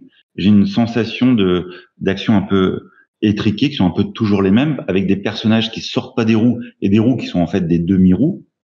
Euh, des roues courtes. Et, donc les actions euh, et les enchaînements, pour moi, sont assez prévisibles et je m'éclate pas autant que des jeux d'enchaînement. Alors c'est la correspondance, c'est une sensation. Je dis pas que le jeu dysfonctionne. Après, il y a des choses qui m'ont énormément gêné. C'est que là, on, on parle de la lisibilité, il faut quand même en parler, les poèmes. Euh, qui peut lire un poème qui est à l'autre bout du plateau, écrit euh, à l'envers, euh, avec des chiffres qu'on voit pas euh, Moi, je ne les lis pas. Je me suis interdit de lire ce qu'il y avait. Il faut juste regarder les icônes et c'est tout. Ouais. Bah, on les lit ensemble en début de manche, histoire de bien voir à quoi correspondent non, il faut les pas lire. Les... Non mais il y a quand même des Hmm. icônes où il y a besoin de lire pour certaines Ah oui. précisions de règles. Ah mais bah on les lit une fois en début de manche et après tu les icônes te permettent de les repérer. Mm. Il y a quand même pas beaucoup de poèmes qui sortent à chaque manche, donc pour moi ça reste jouable. Le repérage par les icônes se fait assez bien, mais il y a quand même un craquage sur la taille et sur l'endroit où mais-. Il aurait, faire, il aurait fallu faire des cartes avec juste des icônes, des icônes. plus gros Ouais. et Ouais. pas, pas de texte. C'était tout à fait jouable, mais euh, voilà. En fait, ça, ça m'a vraiment gêné. Et un écart de puissance entre les poèmes, euh, quelquefois, qui fait que l'effet du premier Pas joueur, pour moi, est crucial. Et la gestion d'ordre du tour que j'aime pas du tout, hein, qu'on retrouve dans certains jeux, mais qui est là le, la personne qui est en tête sur les, c'est des parias en fait, Ouais. euh, Ouais. va choisir qui va être premier joueur, mais va c'est pas le deuxième qui va choisir sa deuxième place. C'est-à-dire que si le, la première place est prise par la personne qui à l'opposé du deuxième, le deuxième jouera en quatrième position. Oui, oui. Et c'est un jeu où il y a quand même des ouvertures parce que c'est pas renouvelé dans une manche. Et moi, ça me gêne euh, là-dessus euh, parce qu'il n'y a pas du tout de renouvellement en fait sur sur des éléments. Il n'y a Pas pas tous, moyen. D'accord, parce que ça peut aussi permettre à certains de partir de certaines actions. Il y a quand même souvent des actions qui sont encombrées et que du coup on peut. Comme c'est beaucoup un jeu de timing, euh, pour moi c'est pas toujours horrible d'être quatrième. Et pour le coup, le fait de choisir d'être premier, c'est, enfin, le fait de choisir l'ordre du tour, c'est vraiment choisir dans quel ordre tu vas jouer. Et pour moi, c'est indispensable de. Non. de jouer euh, comme ça. alors moi là-dessus, je suis pas d'accord du tout, dans le sens où si je me bats pour la première place et qu'on est deux tout en haut quasiment du truc, j'ai dépensé des choses. C'est-à-dire que des jeux où je prends des premières places, ben, je les ai, j'ai dépensé mon action. Et euh, les autres ont rien fait. Donc, qu'il y ait un ordre du tour impacté, ça me gêne moins. Là, je peux essayer de me battre et au dernier moment euh, que l'autre repasse devant moi sur un truc et je passe de premier potentiel à quatrième alors que j'ai dépensé de l'énergie. Moi, c'est ça qui me gêne euh, dans le truc. Ça, ça se corrige facilement. Ça, tu peux le corriger. Tu dis que tu joues dans l'ordre des parias et puis c'est tout. Mais c'est ça, Voilà, non, mais ça. je, je dis Ouais. juste que sur la règle originelle, je dis pas Ouais, que c'est ouais. pas- qu'on peut pas le corriger. Et, et ça, je pense que moi, si j'y joue, je corrigerai comme ça parce que ça me dérange. Après, je comprends que ça dérange pas tous les joueurs. Je dis juste que pour moi, c'est un facteur qui me dérange par me rapport à un Et investissement. surtout dans ce que tu dois dépenser en paria par tour. Si tu vois que t'es deuxième, tu dépenses tes paria et tu dépenses pas tes points de victoire. Alors que quand t'es premier avec le deuxième pas loin, tu dépenses tes points de victoire pour rester premier. Si, Ça si se tu veux rester dans la course, tu peux pas. T'as le même effet. T'es bloqué comme le premier si tu veux avoir une chance euh, de, de le rattraper. Sinon, il prend trop d'avance et dans ces cas-là, t'abandonnes toute la partie et être quatrième. Enfin, moi, je, je l'ai vu sur plusieurs parties euh, et sur des batailles comme ça. En tout cas, le, ressenti que j'ai, je, je dis pas que c'est impossible de gagner et on n'est pas sur le fait de dire voilà, c'est ça qui va tout décider. Je dis que c'est une sensation que je n'apprécie pas. Point. C'est et donc il y a plusieurs choses euh, dans le jeu que j'apprécie pas et j'ai pas cette satisfaction de par moment faire des super enchaînements euh, que je l'ai perçu, tel que je l'ai vécu euh, dans les parties. Quelquefois, je fais des petits enchaînements de un bâtiment qui va acheter autre chose et tout ça, mais j'ai pas le même niveau de satisfaction que dans d'autres jeux à combo. Donc c'est pour ça que je suis un peu passé à côté. Je dis pas que le jeu est pas bon, je dis je dis pas qu'il est qu'il est pas jouable et qu'il et, et qu'il n'y a pas ces, ces enchaînements, que il peut pas y avoir un plaisir de roue, des interactions. Ça, elles sont réelles. Je dis juste qu'il me correspond pas simplement. Euh, et, et moi, j'ai réessayé le jeu parce que je me disais, ça peut toujours arriver de jouer avec un groupe qui est négatif sur le jeu Ça marche et, pas. et de te Ouais. dire ça marche pas. Mm. Donc c'est pour ça que j'ai essayé de rejouer, mais à force au bout d'un moment, quand tu joues avec quatre groupes différents et que ça marche jamais, c'est peut-être que le jeu te correspond pas en fait. Ouais. Voilà, c'est tout. C'est euh, Ah, mais c'est des choses moi, qui arrivent. avec hein. Mais c'était pas arrivé depuis le début de la sélection. C'est pour ça que ça m'a surpris. Je me suis dit, oh merde, il a pas aimé. ok. Anne-Cat, qu'est-ce que t'en penses de Sabika? Bah, moi, il m'a, il m'a interpellé au premier, à la première euh, partie. Donc, euh, la première partie, j'ai, eu juste un retour de Dim parce que j'avais pas joué à Sabika. Donc, j'en ai fait une. euh, On a joué cette fois-ci ensemble et avec un couple d'amis. Euh, et le jeu m'a interpellé. Euh, donc, j'ai pu y rejouer et, et cette notion de timing, je la trouve très intéressante pour justement. euh, bah là, il faut arriver justement un peu à se décaler. Et, euh, et moi, j'aime. au tout début, je trouvais ça très très frustrant parce que effectivement, sur la, la, chacune des routes, tu as une action plutôt majeure que tu as envie de faire et, et, et, puis tu t'as deux pions, voire dans les autres, tu qu'un seul pion et, Et, et, je trouve que du coup, il faut arriver à penser autrement. Du coup, il apporte un petit challenge, mais qui reste accessible par rapport à un Weather Machine ou euh, donc, euh, mais pour moi, ça reste du, challenge avec cette envie de rejouer, mais je vais plus être sur euh, là le côté intellectuel plus que le, le, côté plus ludique, jeu comme je vais retrouver à Tiletum immédiatement. Donc, si je quand je vais jouer à, Sabika, c'est parce que je vais chercher bah, justement à, à, à, bien réfléchir, à bien voir comment je peux jouer, aller exploiter les différentes façons de jouer aussi. Là, j'avais plus joué avec les cartes pour faire les petites actions qu'on va quand on va compléter euh, deux cartes et qu'on forme le les euh, pas trop les termes. la, frise là. Oui, la fresque. Voilà, la fresque. Et ça, je trouve ça intéressant. Donc, j'étais la seule à le faire. En plus, j'aimais bien parce que par rapport aux autres, bah, ils n'allaient pas vers ça. Et du coup, je trouve, voilà, il y a ces petites façons de faire hmm. euh, qui, qui moi m'ont interpellé.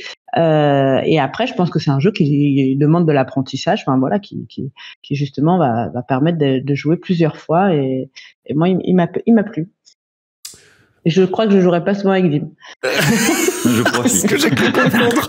C'est ce que j'ai cru. Il y en a tellement d'autres à jouer avant. je voulais dire un petit truc euh, aussi sur le thème. Je trouve que les mécaniques sont pas extrêmement thématiques en tant que telles. Par contre, toute l'intégration thématique, le livret de règles est super bien fichu là-dessus, est vraiment chouette.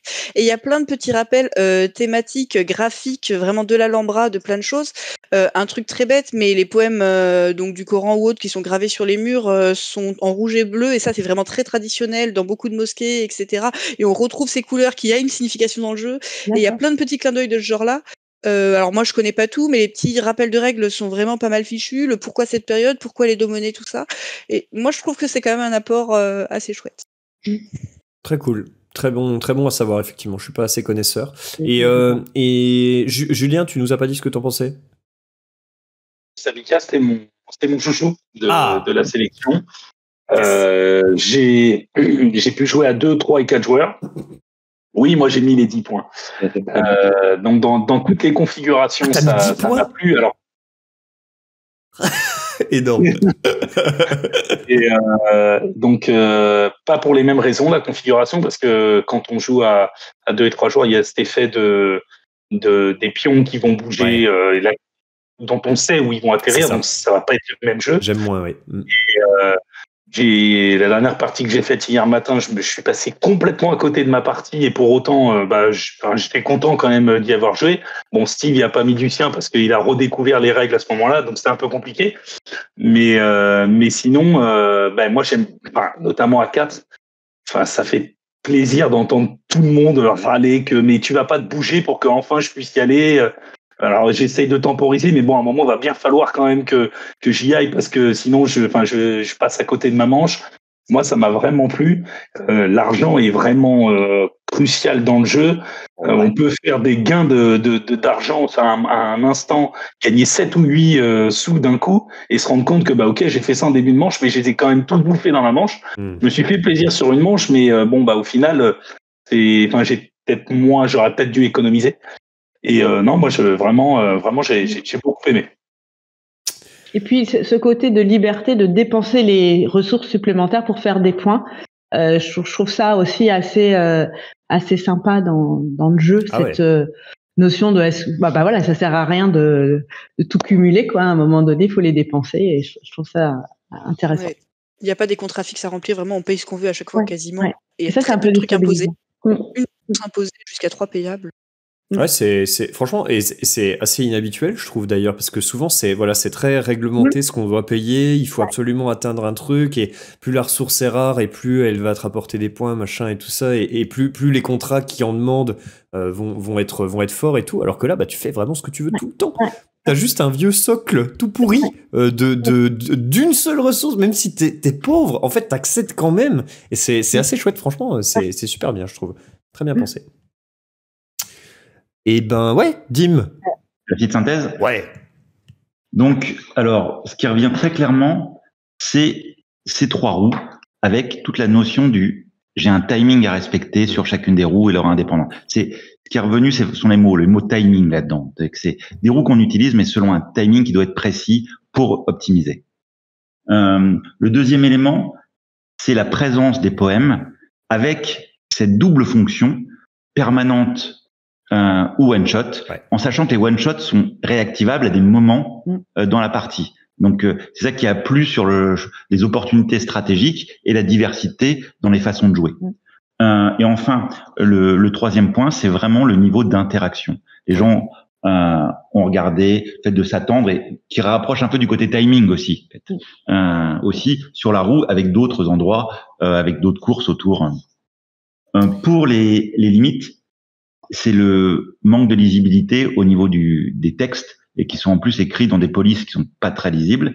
Donc ça, ça c'est revenu. Tout à fait improbable comme police. C'est qu'au début, quand t'installes, qu'on te dit il faut cinq lettres différentes, t'es là, c'est quoi la lettre sur cette carte Non, mais c'est très clair. tu, tu, c'est illisible. Putain, c'est incroyable.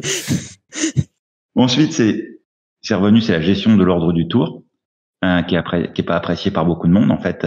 Euh, et enfin, des poèmes aux puissances un peu trop variables voilà les, les, les, points négatifs qui ont été euh, soulevés. Mais, euh, c'est que, que, toi qui as mis les points négatifs, en fait, Dim, tu viens de nous lire ce que tu as dit. mais, moi, je les ai tous, en fait. Parce que je pense que les gens, ils en ont peut-être un chacun. Et non. moi, j'ai le best Je sens que je t'ai grillé. moi, j'ai le best-of. Mais euh, ce qui est revenu vraiment euh, énormément, c'est le manque de lisibilité. Et oui. ça, le nombre de, euh, de personnes qui ont été gênées par la police et le nombre d'écritures à des endroits du plateau, ça a été important. Alors après, comme on est sur le deuxième, très clairement, euh, ça va pas très loin dans, dans, dans, les points négatifs, dans le sens où bah, euh, il y a beaucoup de personnes qui l'ont apprécié euh, de toute façon, et donc il n'y a pas de temps de limite que ça par rapport à, à d'autres. là, on arrive quand même sur le diamant d'argent. Bien sûr, bien sûr. Et on va d'ailleurs passer au diamant d'or, puisque c'est le moment que tout le monde attend, et on parle donc bien sûr de Marrakech qui remporte le Diamant d'Or cette année. Marrakech, euh, le nouveau Stéphane Feld, la City Collection, Queen Games, tout ça, et alors ben, ben, c'est parti. Qui veut, qui veut commencer à parler de ce jeu? Ouais, vas-y, Julien, je sens la motive là. Vas-y, Julien, Marrakech, qu'en est-il?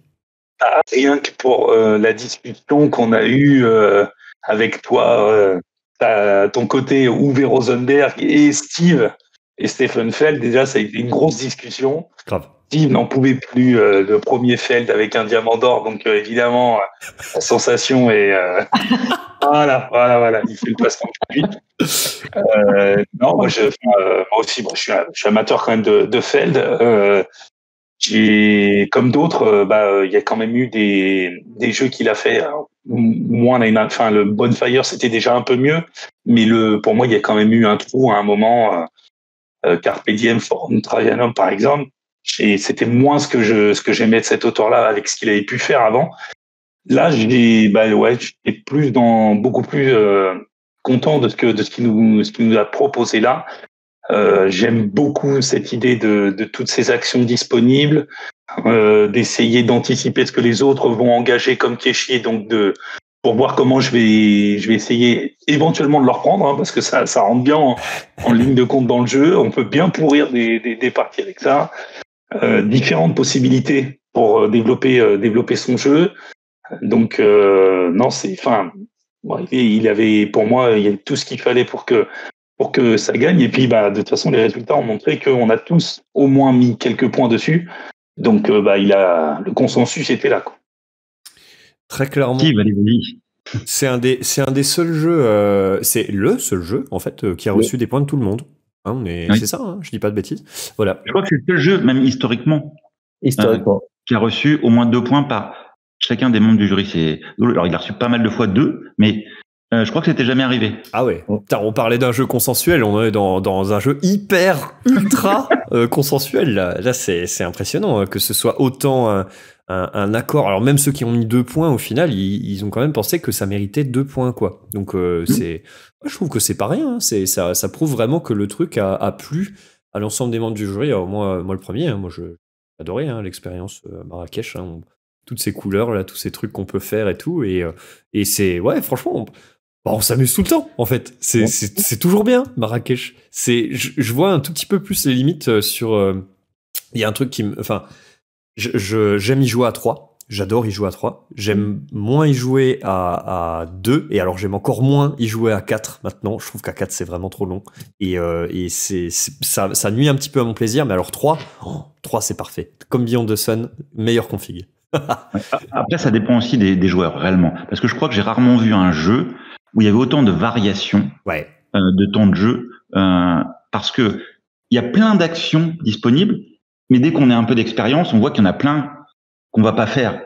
Mais si on fait de l'analyse de tout ce qu'on peut faire, il y en a toujours plein de dispo. Et donc ça rallonge énormément. Je vois la partie qu'on a pu faire la nuit euh, euh, tous les trois, en un peu moins de deux heures, il était fini et, euh, et avec et avec du, du, rythme et des choses. Et ça, j'ai eu des sensations très différentes selon mes parties. J'ai fait beaucoup de parties de Marrakech.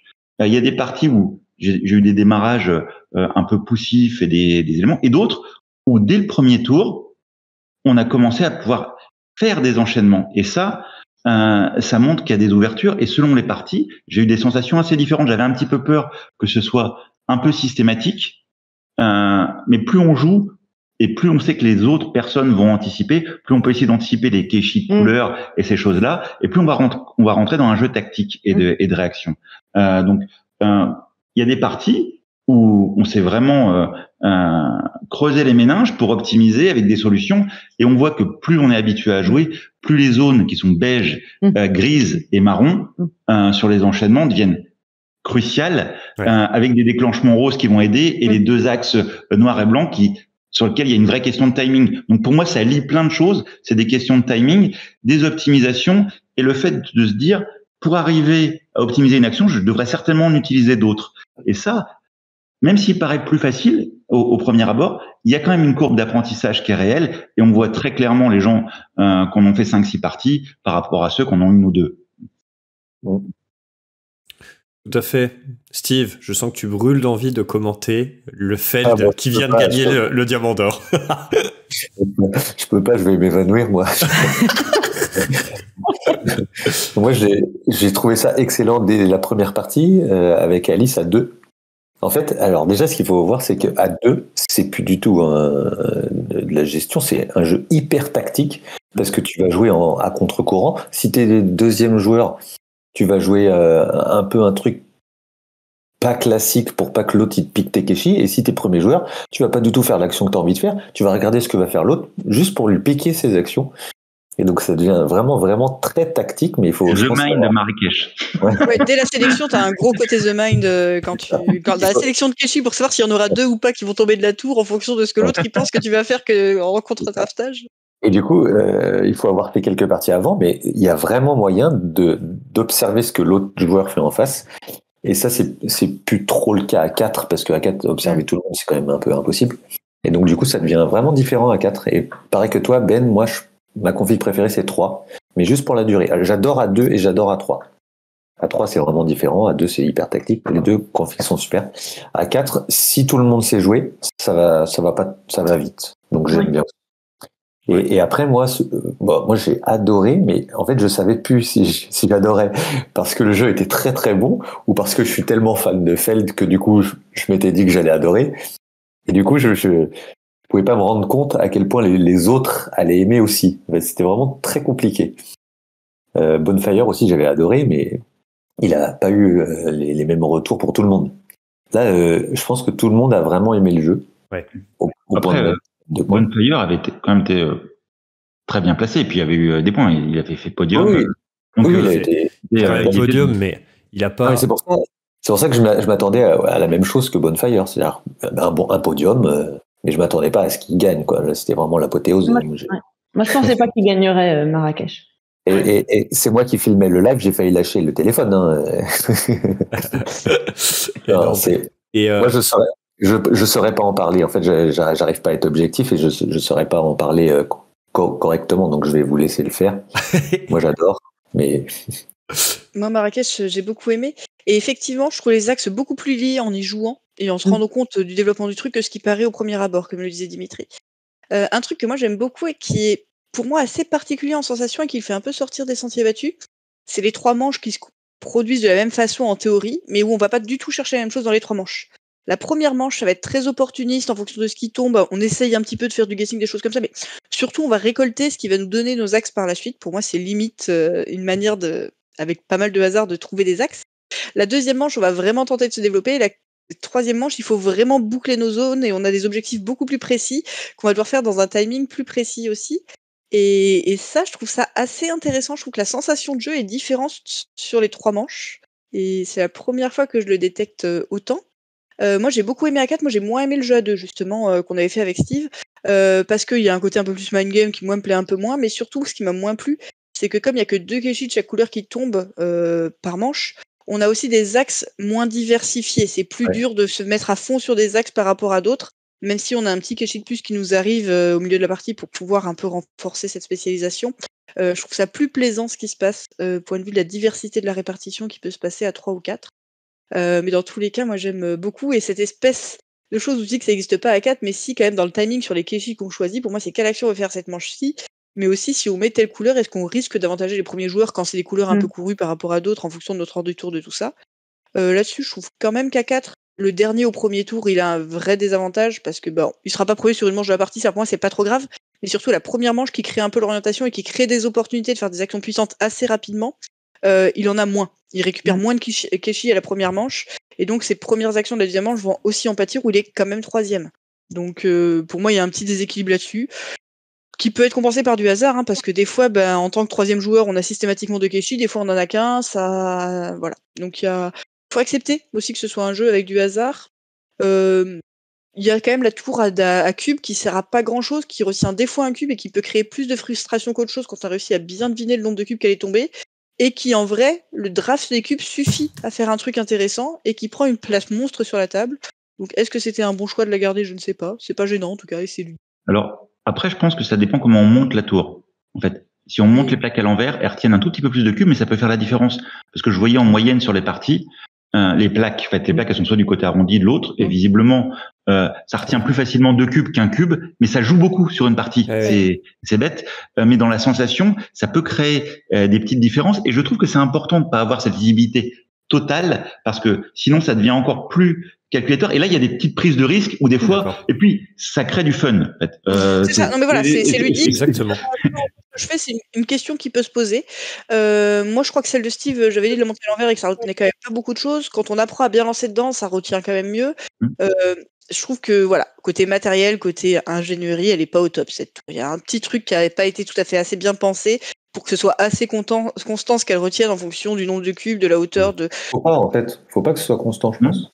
Non, mais pas constant en nombre de cubes, mais que euh, en fonction de qui lance, si tu lances de trop, le fait que ça va systématiquement tout tomber, si tu le lances de trop bas, euh, enfin, voilà, je pense que euh, l'objet est pas idéal. Ça aurait pu être mieux designé. Faut une notice, faut une notice pour bien l'utiliser. Non, mais je pense que tu vois, ils auraient peut-être pu mettre un petit tunnel dedans, un peu comme les trucs de billes, tu sais, qui tombent, pour forcément le lancer à la main, à ras du truc, mm. pour pouvoir avoir une vitesse un peu constante dans comment ça tombe. Enfin, il y a un, je sais pas, hein, après ça sert à rien et ça fait son usage. Dans tous les cas, ça reste utilisable et ça gâche pas les parties le fait qu'elles marchent pas au top. Mm. Mais euh, je trouve que l'objet a un petit bug de conception. Mm. Après, sur ce que tu disais sur la place de, quatrième joueur, avec le petit désavantage, il y a quelques parties où on a testé de faire choisir au quatrième euh, les, euh, ces deux Keshi en premier, plutôt que de les donner au hasard, pour éviter que ça fasse des fois un effet de repénalisation mm. du quatrième. il choisit en premier ces deux Keshi, puis il les passe au troisième, etc. Donc, ça fait peut-être une surcompensation, mais au moins, ça évite d'avoir l'effet euh, double euh, pénalité. C'est-à-dire que si c'est le premier qui a en plus les, les qui vont mieux euh, sur le démarrage, ça va accentuer cet effet premier joueur. Voilà. Alors moi, je trouve ça moins fun parce que j'aime bien le petit côté un peu fun de l'orientation qui t'est un peu donnée par le jeu. Moi, c'est un truc qui m'amuse vraiment dans ce jeu-là, que ton orientation, elle t'est donnée un peu par ta première manche, par les questions reçues, par des choses comme ça.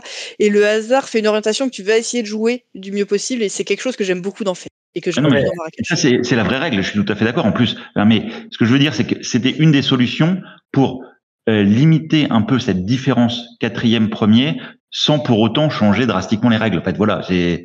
Euh, mais je trouve que l'orientation, elle est donnée au premier, deuxième joueur, et elle est plutôt subie par le quatrième joueur. Mm. il, y a une petite, il y a une petite différence euh, là-dessus. Oui, c'est vrai, c'est vrai. Il y a quand même, il y a quand même une légère, mais, euh, mais ouais, effectivement. Là, je suis, je suis vraiment de ton avis, euh, Dim.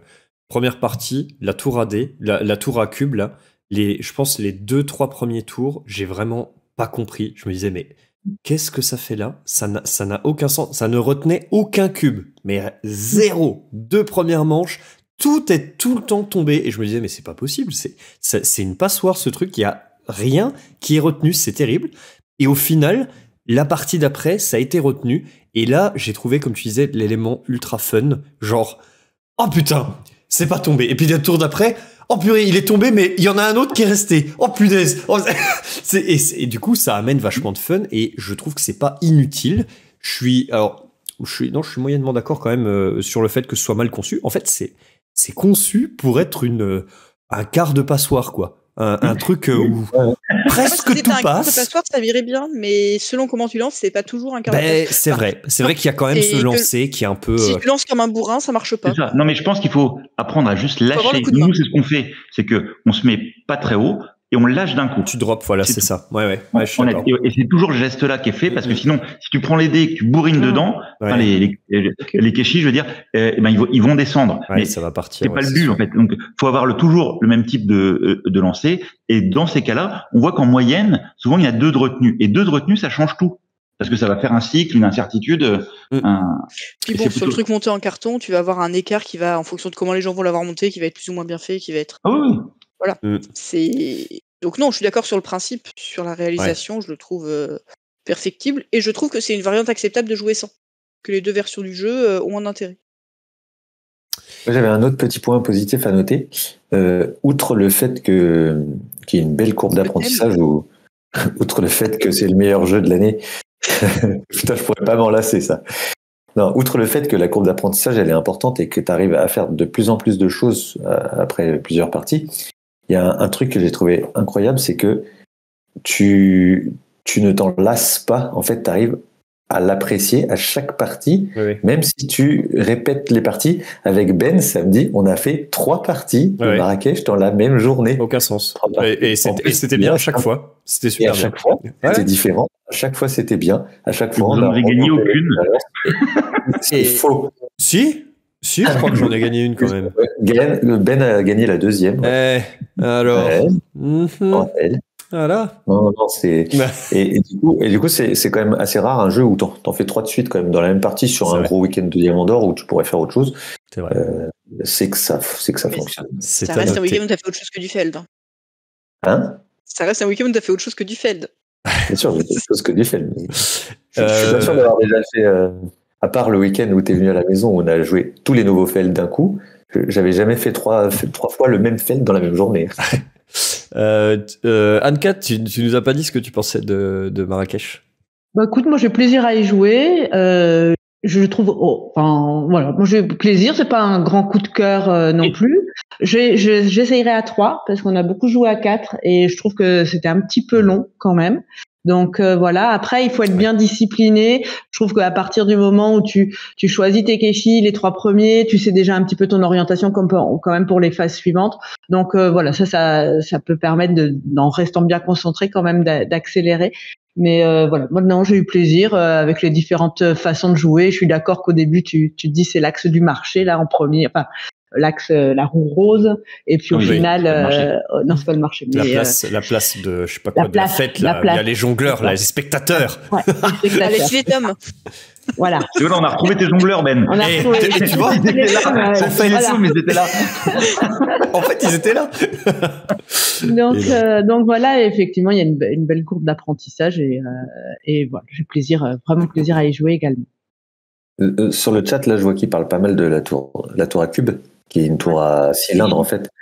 Et, et, et, Fred, non, en fait, c'est même pas des cylindres parce qu'un cylindre, c'est oui, c'est rond. Pas Là, c'est un cylindre hexagonal. Je ne sais pas comment on appelle cette forme en géométrie. Ça n'a pas de nom. J'ai cherché, ça ah. n'a pas de nom. Ah ça n'existe pas. ressemble à un baril.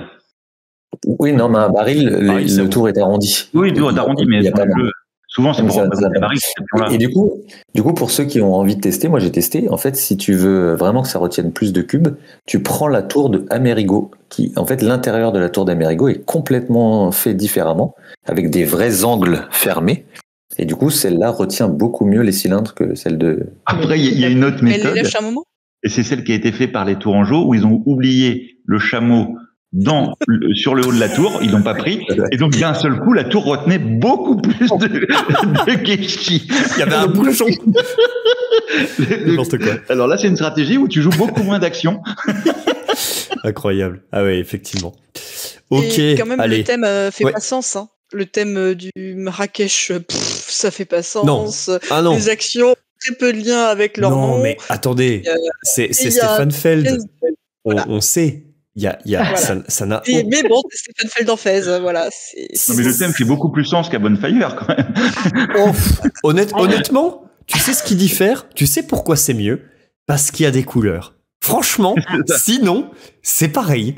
Ça n'a Alors moi j'ai demandé à tous mes sens. potes marocains s'ils savaient ce que voulait dire Keshi. Il y en a pas un qui a déjà entendu le nom. hein. Eh ben voilà, donc en plus, en plus, c'est même pas traditionnel. Rien. C'est zéro sur toute la ligne. C'est, c'est indécent à quel point c'est zéro. Quand j'ai fait la vidéo de présentation, en, en écrivant le texte, le flavor text de Marrakech, je n'ai rien su écrire d'autre que dans Marrakech, vous allez faire des actions pour gagner des points de victoire. Parce que je ne sais pas quoi dire d'autre. Je, il y a rien à dire en fait. Vous- Qu'est-ce qu'on fait? Attends, Steve Je va t'expliquer.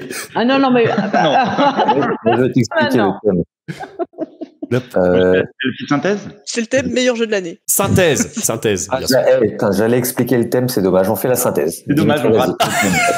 Je me demande bien comment tu t'en serais dépatouillé, mon ami, parce que bon. Alors, dans Marrakech, en fait, ce qui a plu énormément, c'est cette double phase d'action. C'est je choisis euh, des personnages qui sont en lien avec la couleur des kéchis et qui vont déterminer les trois actions que je déclenche. Et ensuite, cette deuxième phase de je mets les kéchis dans une tour et je vais pouvoir orienter l'intensité de mes actions et leur résolution et en même temps surveiller les autres pour pas qu'ils déclenchent des actions trop fortes dans le bon timing. Là, de nouveau, on est dans un jeu avec une question de, timing. Ça, c'est le premier point. Euh, le second point, bah, c'était le côté positif de la tour AD. Parce que, Tour à Keshi. et c'est que les gens pensent que la tour AD, euh, globalement, Keshi. est, est, est Tour. Euh, Akeshi. La tour Akeshi, pardon. Akeshi, euh, peu fatigué. la tour à, Akeshi euh, est plutôt bien intégrée et remplit son rôle de, de mini côté aléatoire et que ça semble être un plus en- pour renforcer le, le côté de l'incertitude lié à la mécanique en fait. Euh, en tout cas, ça a bien plu et une très bonne accessibilité euh, et des choix stratégiques variés. C'est-à-dire que c'est l'opposition des deux. C'est-à-dire qu'on rentre assez vite dedans et pour autant, il existe quand même une courbe d'apprentissage quand on voit l'interaction entre entre les zones. Euh, voilà ce qui a plu vraiment euh, euh, dans Marrakech.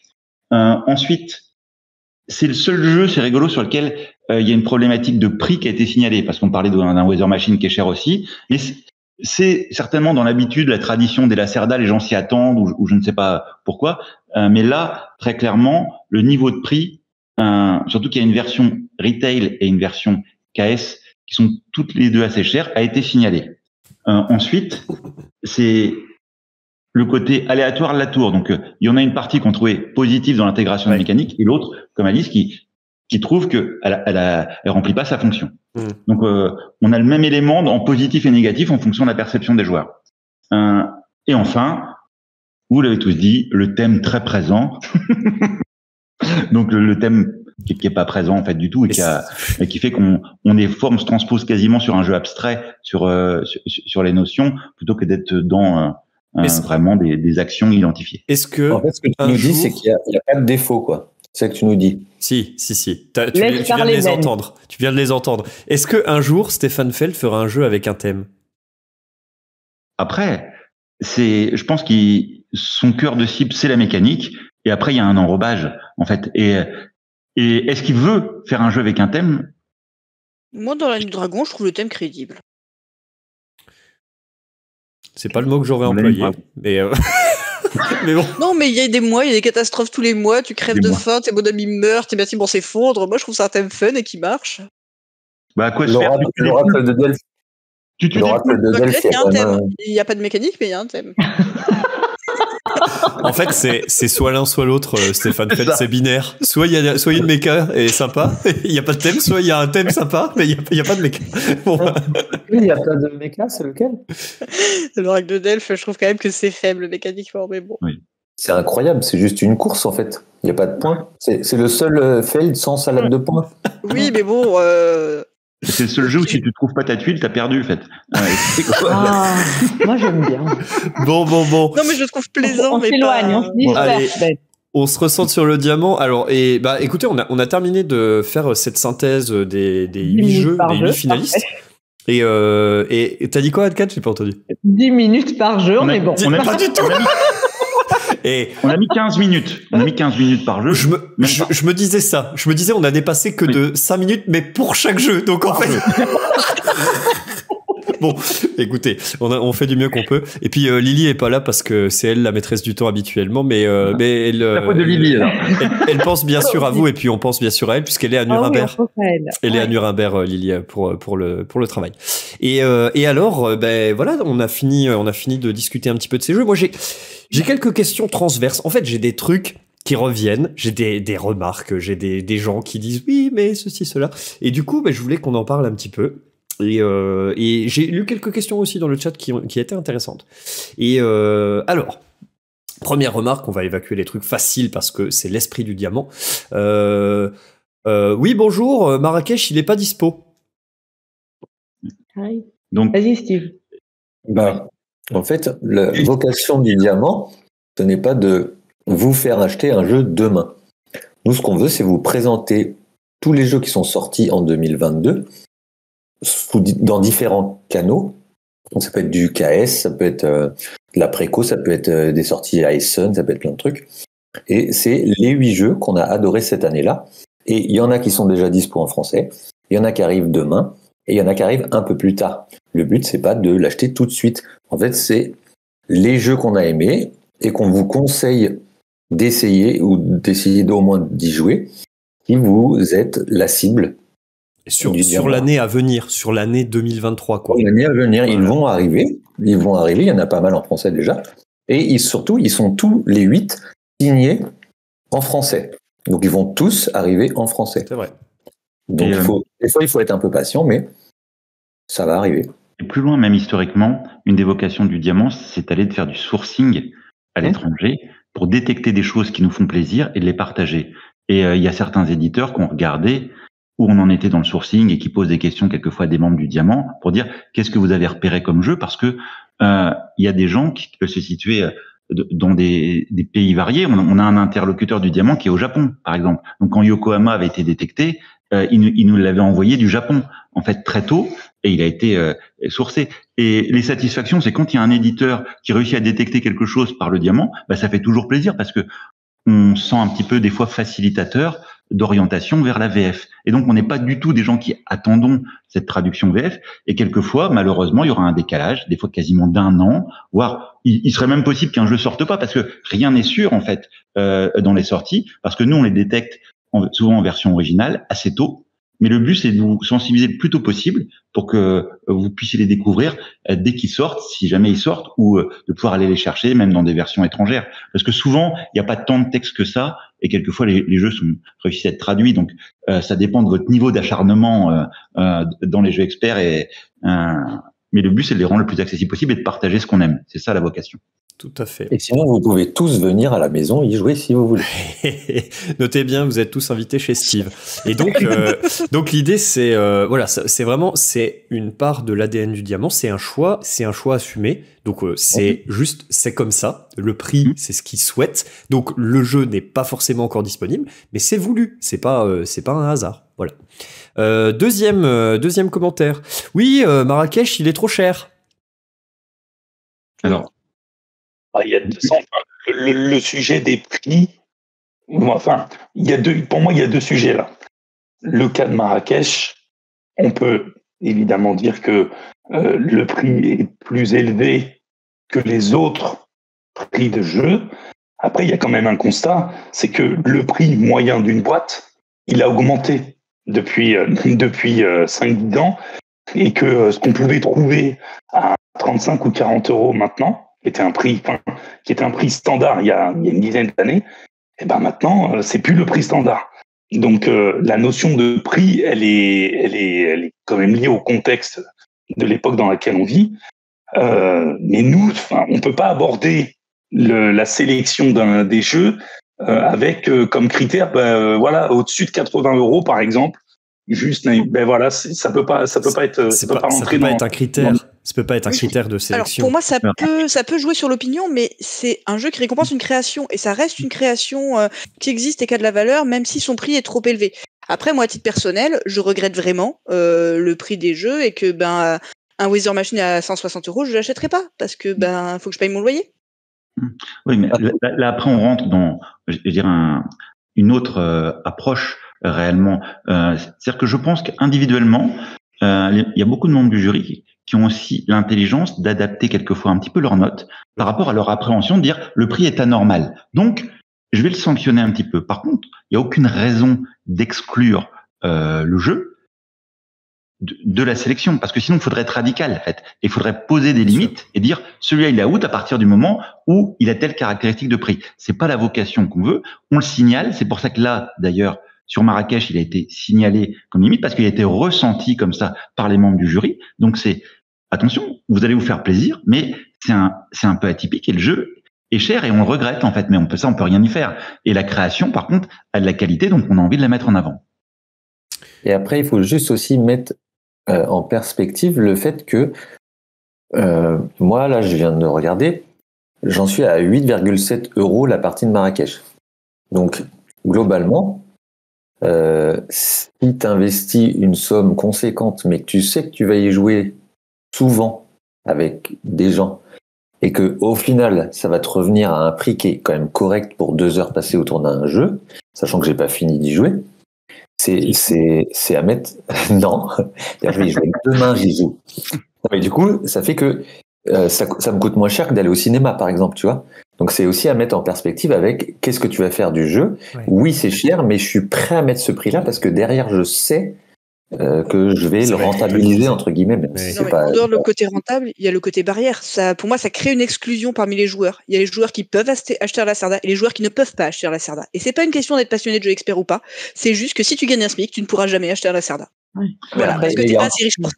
Il y a encore pire que ça. Hein. Il, y a, que ceux qui gagnent des SMIC, ils peuvent même plus acheter des jeux à 45 euros. Non, mais voilà, mais alors, euh, si tu, peux, tu, tu, manges des pâtes et tu peux. Voilà, moi je l'ai fait cet été. Attention, les amis. Les amis, les amis on dérive, on dérive, on dérive. Mais on parlait de prix. Après, c'est quand même euh, un, un, loisir qui est assez cher et. Oui, mais on, et c'est pire on rentre dans une autre problématique là, et euh, ce sera sans fin sur le euh, sur le fait euh, d'aller d'avoir la capacité ou pas d'acheter. Ça, on, sait qu'il y a une, réalité de marché, il y a une complexité quand les prix montent d'accéder au jeu, malheureusement, en fait. après, c'est ce qui peut être jugé. Par contre, c'est la qualité de la proposition, aussi bien en termes de marié, variété que de matériel, parce que oui, acheter un jeu expert, c'est un risque, parce que ils sont tous de plus en plus chers dans la tendance, parce que tous les matériaux augmentent. Euh, déjà de base et qu'il y a une tendance de marché qui progresse. Donc, plus on donnera des conseils qui permettront de qualifier les jeux, plus on risque à des, enfin, de faire éviter les mauvais achats à des gens. Et c'est vraiment un des objectifs. Moi, je suis content quand quelqu'un va me dire j'ai pas acheté ou j'ai acheté et je me suis fait plaisir, mais dans les deux sens parce que j'ai trouvé la correspondance à mes goûts et j'ai pas fait le mauvais achat. Et un des buts dans nos dans les débriefs comme ça, c'est d'éviter aux gens de faire l'achat qui ne leur correspond pas. Et en dehors de ça, j'ajouterais peut-être parce que nous, c'est aussi comme ça qu'on se connaît par le diamant, euh, via les assos, via les week-end jeux, mmh. via les groupes de joueurs, en s'organisant sur les achats. Il n'y a aussi pas forcément besoin de tous euh, avoir sa boîte. Alors ça sort un petit peu des diamants, mais quand même, le groupe des diamants, on se connaît parce qu'on fréquente le monde ludique, qu'on fréquente des assos, qu'on fréquente des week-ends, et que c'est une super occasion qui coûte aussi des sous. Hein, les week-end jeux, c'est pas donné, mais c'est pas non plus aussi cher que d'acheter tous les jeux. C'est une autre manière d'aborder le jeu qui, moi, me tient à cœur, qui, je pense, tient à cœur à beaucoup de gens dans le jury. Et, euh, et même si on dépense tous beaucoup, euh, voilà, faut aussi rappeler qu'un jeu, c'est pas forcément que pour soi qu'on l'achète, il suffit d'avoir des. Exactement, très bien. Donc c'est à nouveau un critère, euh, un critère qui fait partie du diamant, qui est assumé et euh, qui, ne, qui ne fera pas l'objet d'une exclusion au-delà de 100 balles ou quoi, parce que parce que c'est pas ce qu'on récompense ici. Troisième remarque. Oui, Marrakech et la sélection d'une manière générale, et cette année en particulier, n'est pas assez expert alors là, on rentre. Plus difficile comme question, plus difficile.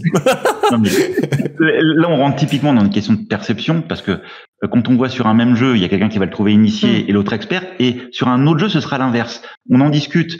Euh, Anne 4, par exemple, elle n'a pas la même perception des jeux experts que moi. Et, il y a des jeux qu'elle va trouver super durs, euh, que moi je vais trouver simples. Et, c'est, enfin, non mais c'est là-dessus, on a un spectre d'analyse qui est différent.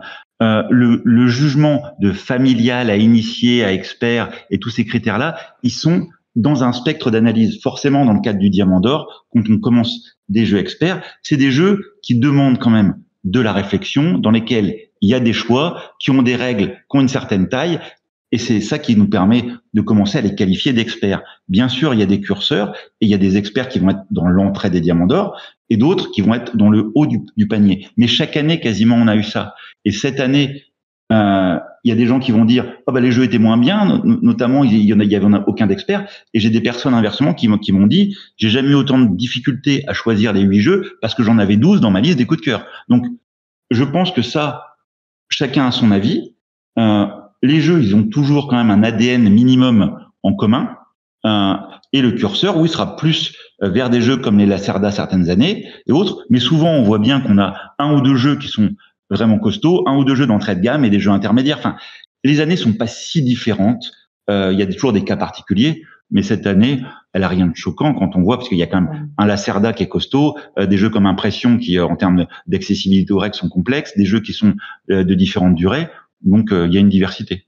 Puis pour moi, il y a un critère qui est plus humain, qui est bêtement que ce sont des jeux qui sont appréciés par des joueurs dits experts. Alors après, on peut mettre les casquettes qu'on veut, mais c'est quand même des joueurs qui ont l'habitude de jouer depuis longtemps, qui aiment ce type de jeu. Et je trouve que qu'on veuille mettre l'étiquette expert ou pas pour se prétendre quelque chose ou pas, quand on voit l'ensemble des sélections Diamant d'Or, on voit bien de quoi on parle. C'est même si il y en a qui disent ah non mais ça c'est pas l'étiquette expert, c'est l'étiquette machin, ou alors ah non c'est l'étiquette, on voit de quoi on parle. Et puis la plupart de ces jeux, de toute façon, il faut voir quand même que quand ils sont pratiqués par des joueurs qui ont un bon niveau et qui ont une courbe d'apprentissage, ils vont gagner la plupart de leurs parties. Donc c'est quand même qui est un domaine. On n'est pas dans des jeux de hasard, on n'est pas dans des jeux où immédiatement euh, je vais avoir toutes les bonnes réponses. Il y a souvent et courbe d'apprentissage et niveau de jeu. Euh, et donc ça, ça fait partie de l'expertise. Un jeu où, où c'est souvent quasiment toujours le même qui gagne, euh, sans qu'il y ait de hasard et, et autres, c'est qu'il y a cet ADN quand même d'avancer et de choix stratégiques qui sont plus difficiles pour les uns que pour les autres. Mmh. L'important, moi je dirais aussi, c'est de se faire plaisir. Et il y en a certains qui, euh, moi je vais avoir des moments où j'avais avoir envie de jouer à un jeu léger, d'autres un moment intermédiaire, un moment où j'avais avoir envie d'un défi. Euh, ben voilà, mais je vais le trouver. Et mon expert à moi n'est pas l'expert de, de Dim, n'est pas l'expert d'Alice, ni de Steve, ni de Julien. Après, on va avoir des points communs dans ce temps où on va partager un jeu qu'on va se qualifier d'expert pour chacun, parce que oui, on va avoir le petit défi, parce qu'on va se dire, ouais, on va se poser, ok, il va y avoir, je vais essayer de comprendre qu'est-ce que l'auteur a voulu faire, comment je peux gagner, quelles sont les différentes stratégies, et, et, et voilà, et ça va être ce temps-là qu'on va partager et qui va paraître pour l'un expert et pour l'autre peut-être moins expert. Et si on intervient aujourd'hui, c'est aussi dans des cas de débrief comme ça pour vous donner un peu nos goûts et que vous puissiez vous rapprocher de chacun de, nous euh, individuellement. S'il y en a qui vont préférer les goûts d'Alice, de Steve, les miens, ceux d'Anne-Cat, et d'identifier les jeux qui pourraient vous plaire parce que vous allez en voir plusieurs, vous dire ah ben moi j'aime ça, Anne-Cat les aime bien.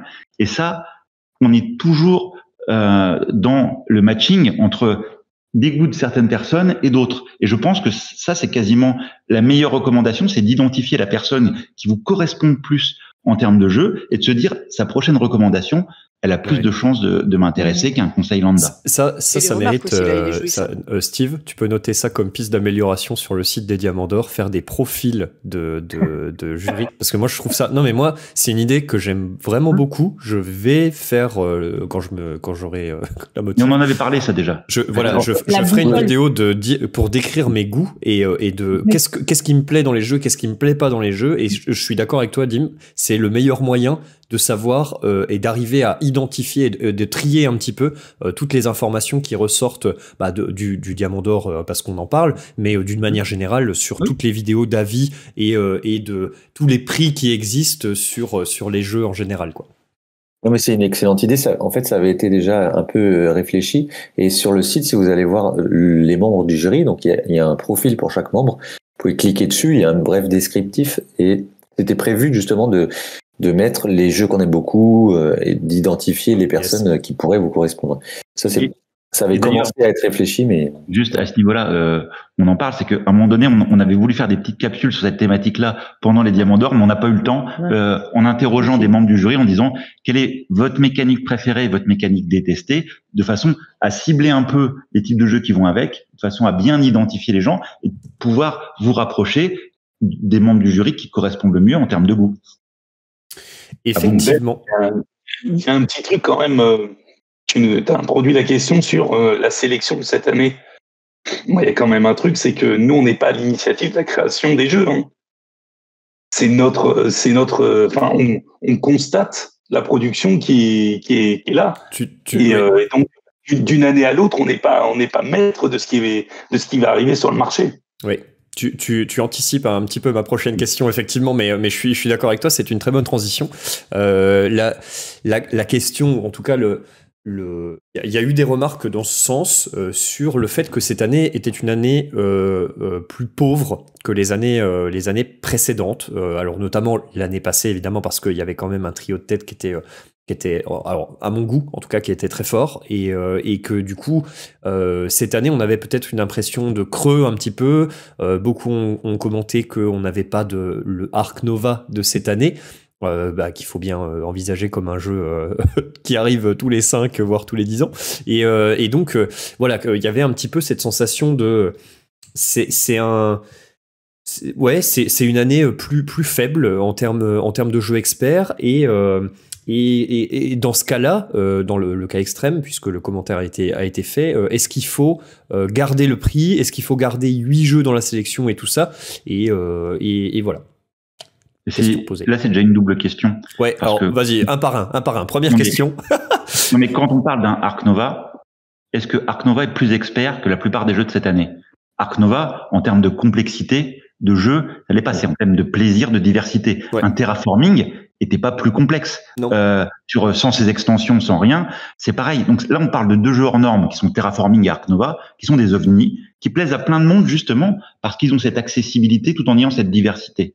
Euh, mais je les classerai pas spécialement plus experts que beaucoup d'autres. C'est ce que je veux dire. Euh, par contre, oui, il y a certainement un potentiel de rejouabilité, de diversité, de plaisir qui correspond à plus de gens parce que c'est dans l'ADN de ces jeux-là. Et, euh, et Terraforming l'avait bien marqué, on l'avait anticipé, on l'a dit assez tôt avec Arc Nova que ce serait un succès. Et ça, on l'a déjà dit il y a un an euh, quand on a fait les, les, derniers diamants. Que bien sûr, le public serait même pas le même que un Coffee Trader ou un Imperial Steam derrière qui ont des qualités complètement autres, mais qui sont beaucoup moins larges au niveau de la diffusion potentielle. Donc ça, c'est pour l'appréhension de euh, et, et, revenir à ça, c'est que un Arc Nova, c'est pas ça qui qualifiait le degré d'expertise euh, de, de, la sélection. Et la notion de plus pauvre, on la verra certainement un peu plus tard. Parce que moi, je suis pas sûr de moins sortir un Tiletum ou un Marrakech qu'un Coffee Trader. J'en ai aucune idée. Et en plus, ça va dépendre de mes goûts. Coffee Trader est plus élitiste. Euh, Imperial Steam correspond plus à mes goûts, mais il est plus dur à sortir. Donc, qu'est-ce qu'on appelle euh, quelque chose qui va être euh, un peu, si on reprend notre design taillé pour durer, est-ce que c'est le temps et la diversité des gens avec qui on va jouer demain, ou est-ce que c'est le plaisir unique qu'on a eu d'y jouer euh, et le fait de se dire c'est un vrai challenge. Je pense que les, les deux sont, sont, des éléments importants, mais en aucun cas on peut se permettre de dire une année, de juger les jeux comme ça et de dire eh ben hop cette année on fera pas de diamant d'or et puis on fera pas la palme d'or non plus et puis on fera pas les Césars parce que cette année on a eu le Goncourt on le retire aussi. Enfin c'est pas possible. Qu'on puisse signaler qu'on a eu moins de coups de cœur et que c'est moins. Par exemple, dans le Diamant d'Or, l'année 2017, qui avait été exceptionnelle avec Great Western Terraforming, euh, Yokohama, Yokohama Crisis, qui a correspondu à certains comme la meilleure année, il y en a d'autres qui ciblent tout de suite et qui disent ah non non, la meilleure année c'est la suivante. On a vraiment un spectre d'analyse qui va être différent. Oui. Et donc, la bonne année sera différente selon les gens. Et en aucun cas, on peut se permettre de juger et de dire on annule toute la créativité ludique d'une année. Non mais euh... oui, puis surtout qu'on est quand même très loin de ne pas avoir 8 Eurogames qui tournent plutôt catégorie expert qui sortent dans l'année. On en est plutôt à 50 quand même, parmi lesquels on a dû faire un vrai choix. Je pense qu'il y a 20 ans, euh, désigner les 8 meilleurs Eurogames qui sortent dans l'année, c'était pas forcément évident parce que c'était beaucoup par rapport à la production de l'année et que tu étais peut-être obligé d'inclure des trucs moins bien. Là, j'ai l'impression que pour les 10 ans à venir, il va sortir au moins 15 bons Eurogames par an, euh, jouables, tout ça. Donc il y aura de toute façon une sélection à faire. Je, je, ne vois pas ça comme contestable. Et, puis après, bien sûr, ça, les choses peuvent évoluer, les, les, goûts des joueurs, les jeux, mais ça n'enlèvera jamais un temps de partage et, et, je vous dis, il y aura toujours des diamants d'or. L'aspect nouveauté, on a envie de conseiller des jeux aux gens, leur faire découvrir des, des nouveaux jeux. S'il y a des années moins bonnes que d'autres, et ce sera le cas, Est-ce que c'est très grave Parce qu'il y a des gens, ils ont envie de découvrir les, meilleurs jeux qui sont sortis dans l'année, simplement. En fait, et oui, avec le recul, on pourra peut-être dire, et ça d'ailleurs, on va l'entreprendre de faire un super diamant d'or, des diamants d'or euh, et des sélections, pour voir un peu, est-ce qu'il y a eu des années qu'on a perçues différemment ou autres Et ça, on fera l'exercice. Mais c'est trop tôt déjà pour le dire, à mon avis, parce qu'on n'a pas le recul. Et en plus de ça, selon les personnes, la vie sera d'une grande diversité. Mmh. C'est-à-dire que on a déjà posé les questions à plein de gens. Eh ben, les gens, ils sont pas unanimes pour dire la meilleure année, c'est celle-là ou, telle autre année. En fait, ils ont tous des préférences et ils vont fixer par rapport à leurs préférences. On sait très bien que la meilleure année, c'est cette année.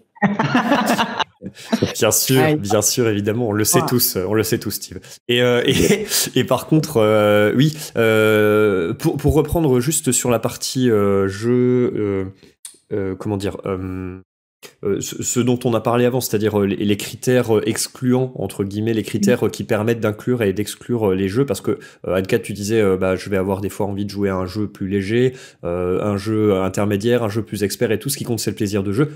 Oui, Certes, cependant, il y a quand même des critères euh, d'admissibilité ah à l'intérieur ah du diamant qui sont euh, qui sont figés. Est-ce que on peut les rappeler, notamment euh, en ce qui concerne Alors, il y avait, moi, je voudrais qu'on rappelle la partie complexité. Je pense qu'il y a un, quelque chose par rapport à l'échelle BGG. Il y a Romain qui demandait est-ce qu'un jeu de 45 d'une durée de 45 minutes peut être intégré au diamant d'or? Alors, en termes de, de perception, euh, on a déjà euh, fait voter, et il y avait une année exceptionnellement, euh, il y a un jeu qui a, duré moins d'une heure et demie, mais c'est rarissime. Ouais. et dans l'idée et l'ADN du, du, diamant, on met des postulats de base, qui sont, il faut une complexité de règles. Il faut des vrais choix dans le jeu. Il faut être dans la catégorie jeu de gestion Eurogame. Normalement, il faut une durée qui, qui soit de l'ordre d'au moins vraiment minimum 20 minutes par joueur euh, sur les jeux. Parce qu'en fait en fonction du nombre de joueurs on va avoir des parties qui vont jouer très vite. Dans Ark Nova dans ces cas-là on peut dire on peut pas le prendre parce qu'il y a des gens qui jouent en 45 minutes à deux. Euh, c'est euh, où, tu places le, curseur.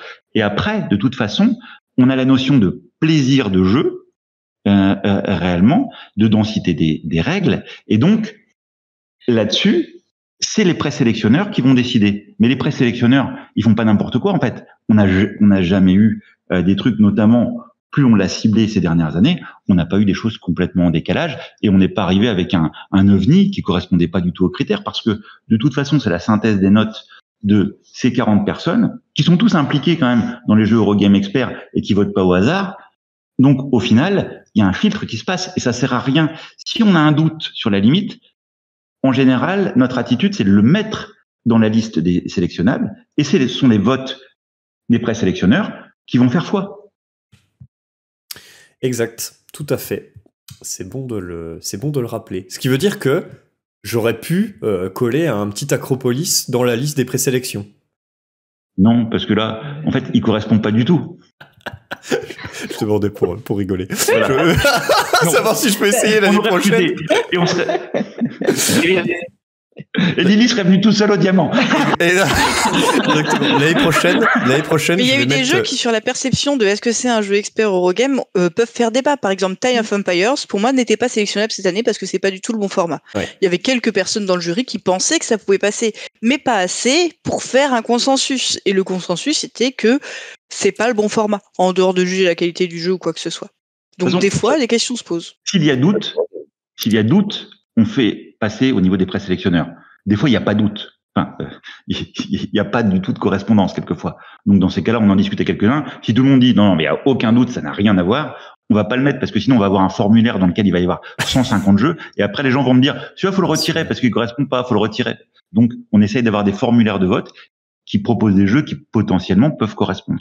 Bien sûr. Bien sûr, évidemment. Mais, euh, mais oui, oui, effectivement. Mais en tout cas, bon, c'est intéressant d'avoir euh, d'avoir ces, ces notions-là, ces critères. Et, euh, et bon, je pense que c'est toujours bien de remettre un petit peu, des fois, l'église au milieu du village et de répondre à ce qui nous est, à ce qui nous est adressé comme, euh, comme commentaire. C'est aussi à ça que, sert, que sert la partie des ah briefings, je trouve, plutôt que de se perdre en débat sur, euh, sur des réseaux sociaux ou des forums euh, X ou Y. Moi, j'aime bien des fois répondre un peu frontalement comme ça, et je, pense que l'exercice est réussi ici, puisque c'est unanime, je veux dire, il n'y a pas de... le ça correspond à l'esprit du diamant d'or. tout le monde est d'accord dessus et il n'y a pas de. C'est comme ça qu'il il est déterminé. C'est ce que tu disais, Dim, c'est un prix qui nous appartient. Et, ça, ça c'est important, c'est que le diamant d'or, on était à l'initiative du diamant d'or, on a mis des gens qui sont venus au fur et à mesure renforcer Diamant d'Or et on en discute. Et ce prix, sa seule volonté, c'est de nous correspondre et de vous faire partager nos découvertes. Parce que notre objectif, c'est de vous faire partager les jeux qu'on préfère. Donc, il n'y a, pas d'histoire haute, c'est que on s'est mis, parce qu'il faut bien une catégorie, sinon on peut pas comparer des jeux qui n'ont rien à voir entre eux. Nous, on aime les Eurogames, les jeux de gestion. Donc, dans cette catégorie-là, ce sont ces types de jeux. Et c'est les jeux sur lesquels on prend du plaisir, qu'on a découvert dans l'année, et qu'on va vous faire partager. Mais ça va pas plus loin que ça dans nos revendications. Après, le prix vous correspond, euh, eh ben on est heureux parce qu'on partage des choses. Si vous correspond pas, euh, on va pas le modifier en tant que tel parce que c'est ce qui nous correspond et on a envie de partager ça. Voilà, simplement. Très bien. Eh ben les amis, on en est à 3 heures pile de live et donc on va on va se calmer parce que ça suffit. Ah, vu passer le temps. Et, et euh, c'est toujours euh, c'est toujours formidable de discuter avec vous, c'est toujours formidable mm. d'avoir les retours du chat. Vous avez été euh, vachement nombreux ce soir. Vous êtes, vous êtes un peu allés au lit au fur et à mesure, mais mais vous êtes encore une soixantaine. Donc donc c'est très chouette, ça fait plaisir d'avoir d'avoir aussi vos retours et puis de pouvoir échanger avec tout le monde. Et, euh, et Alice, oui, vas-y, je t'en prie. Ouais, il y a beaucoup de gens qui réclament notre top 3 perso. Euh, on pourra peut-être en discuter sur les réseaux ou autres, parce que pour moi, c'est aussi moins le but d'un débrief un peu global sur le prix. Donc, euh, comme on vous stoppe depuis tout à l'heure quand vous reposez la question, juste pour le préciser. c'est vrai, t'as raison, t'as raison. Et ben, voilà, comme on est un peu, un peu à limite en temps. Oui, on pourra, on pourrait à la limite publier un top 3 ou quoi. À, titre perso, moi, je vais faire une vidéo de, de retour, euh, sur, mes retours à moi sur les jeux du diamant, décorrélés du diamant et tout, mais juste pour dire ce que j'en, Après, j'en ai Je crois que ça reste très personnel et qu'il faut que les gens qui ont envie de le faire, ils le fassent. Voilà. Bien sûr. Euh, c'est tout simplement le cas, c'est que là, c'est une décision de jury globale. C'est ça. on, est tous, Individuellement, on n'a pas voté pour ça, mais c'est vrai que c'est la décision du jury, donc on soutient euh, cette articulation. Moi, j'ai voté pour euh, ça. ça que ah, mais toi, t'as tout bon, toi. non, non, non, pas tout. Non, non, vraiment pas. Notre coup de cœur, on pourrait faire des paris plutôt. Est-ce que chacun a retrouvé notre coup de cœur Clairement, les pronostics, tu vois. Mais on avait fait des petits pronostics euh, sur feuille en plus, mais je pense il y a franchement personne n'a gagné. Moi, j'avais mis 105 points pour Marrakech et on a eu 110, on est pas mal. Ah ouais Joli. Ah, Moi j'avais trouvé le nombre pile de points de Woodcraft. Oh là là là Très précis, très précis. J'avais doublé le nombre de points que j'estimais d'Axel, finalement il avait mis un point de moins et quelqu'un d'autre avait voté pour. Énorme. Bon, très bien. Et eh ben les amis, je vous propose qu'on en... merci Ben. On en reste là. Ouais, bah merci à tous. Hein. Euh, on, a fait euh. cette émission ensemble. C'était, c'est toujours un plaisir. De toute façon, enfin, c'est, c'est maintenant ah, merci à tous ceux qui nous regardent jusqu'à cette heure tardive, en fait, aussi. Grave, bien sûr. Merci à tous euh, d'être restés. C'était vraiment un plaisir de discuter avec vous. Petite pensée pour, euh, pour Lily, euh, qui, qui aurait bien, il nous aurait bien accompagné, mais oh, voilà, bon. Oh, gros bisous à Lily. Voilà, exactement. Donc, une petite pensée pour elle. Et puis, et puis, bah, écoutez, merci, merci d'avoir été tous là ce soir. Et puis, on se retrouve bientôt sur les réseaux. On, on discute un petit peu de tout ça, on échange toujours, euh, toujours dans le respect et, euh, et, euh, et la bienveillance. Et, et, et, on se retrouve plus tard pour d'autres émissions autour, autour du Diamant d'Or. Hein? Allez, un de ces quatre? Ciao. Salut, salut. Bisous. Bisous.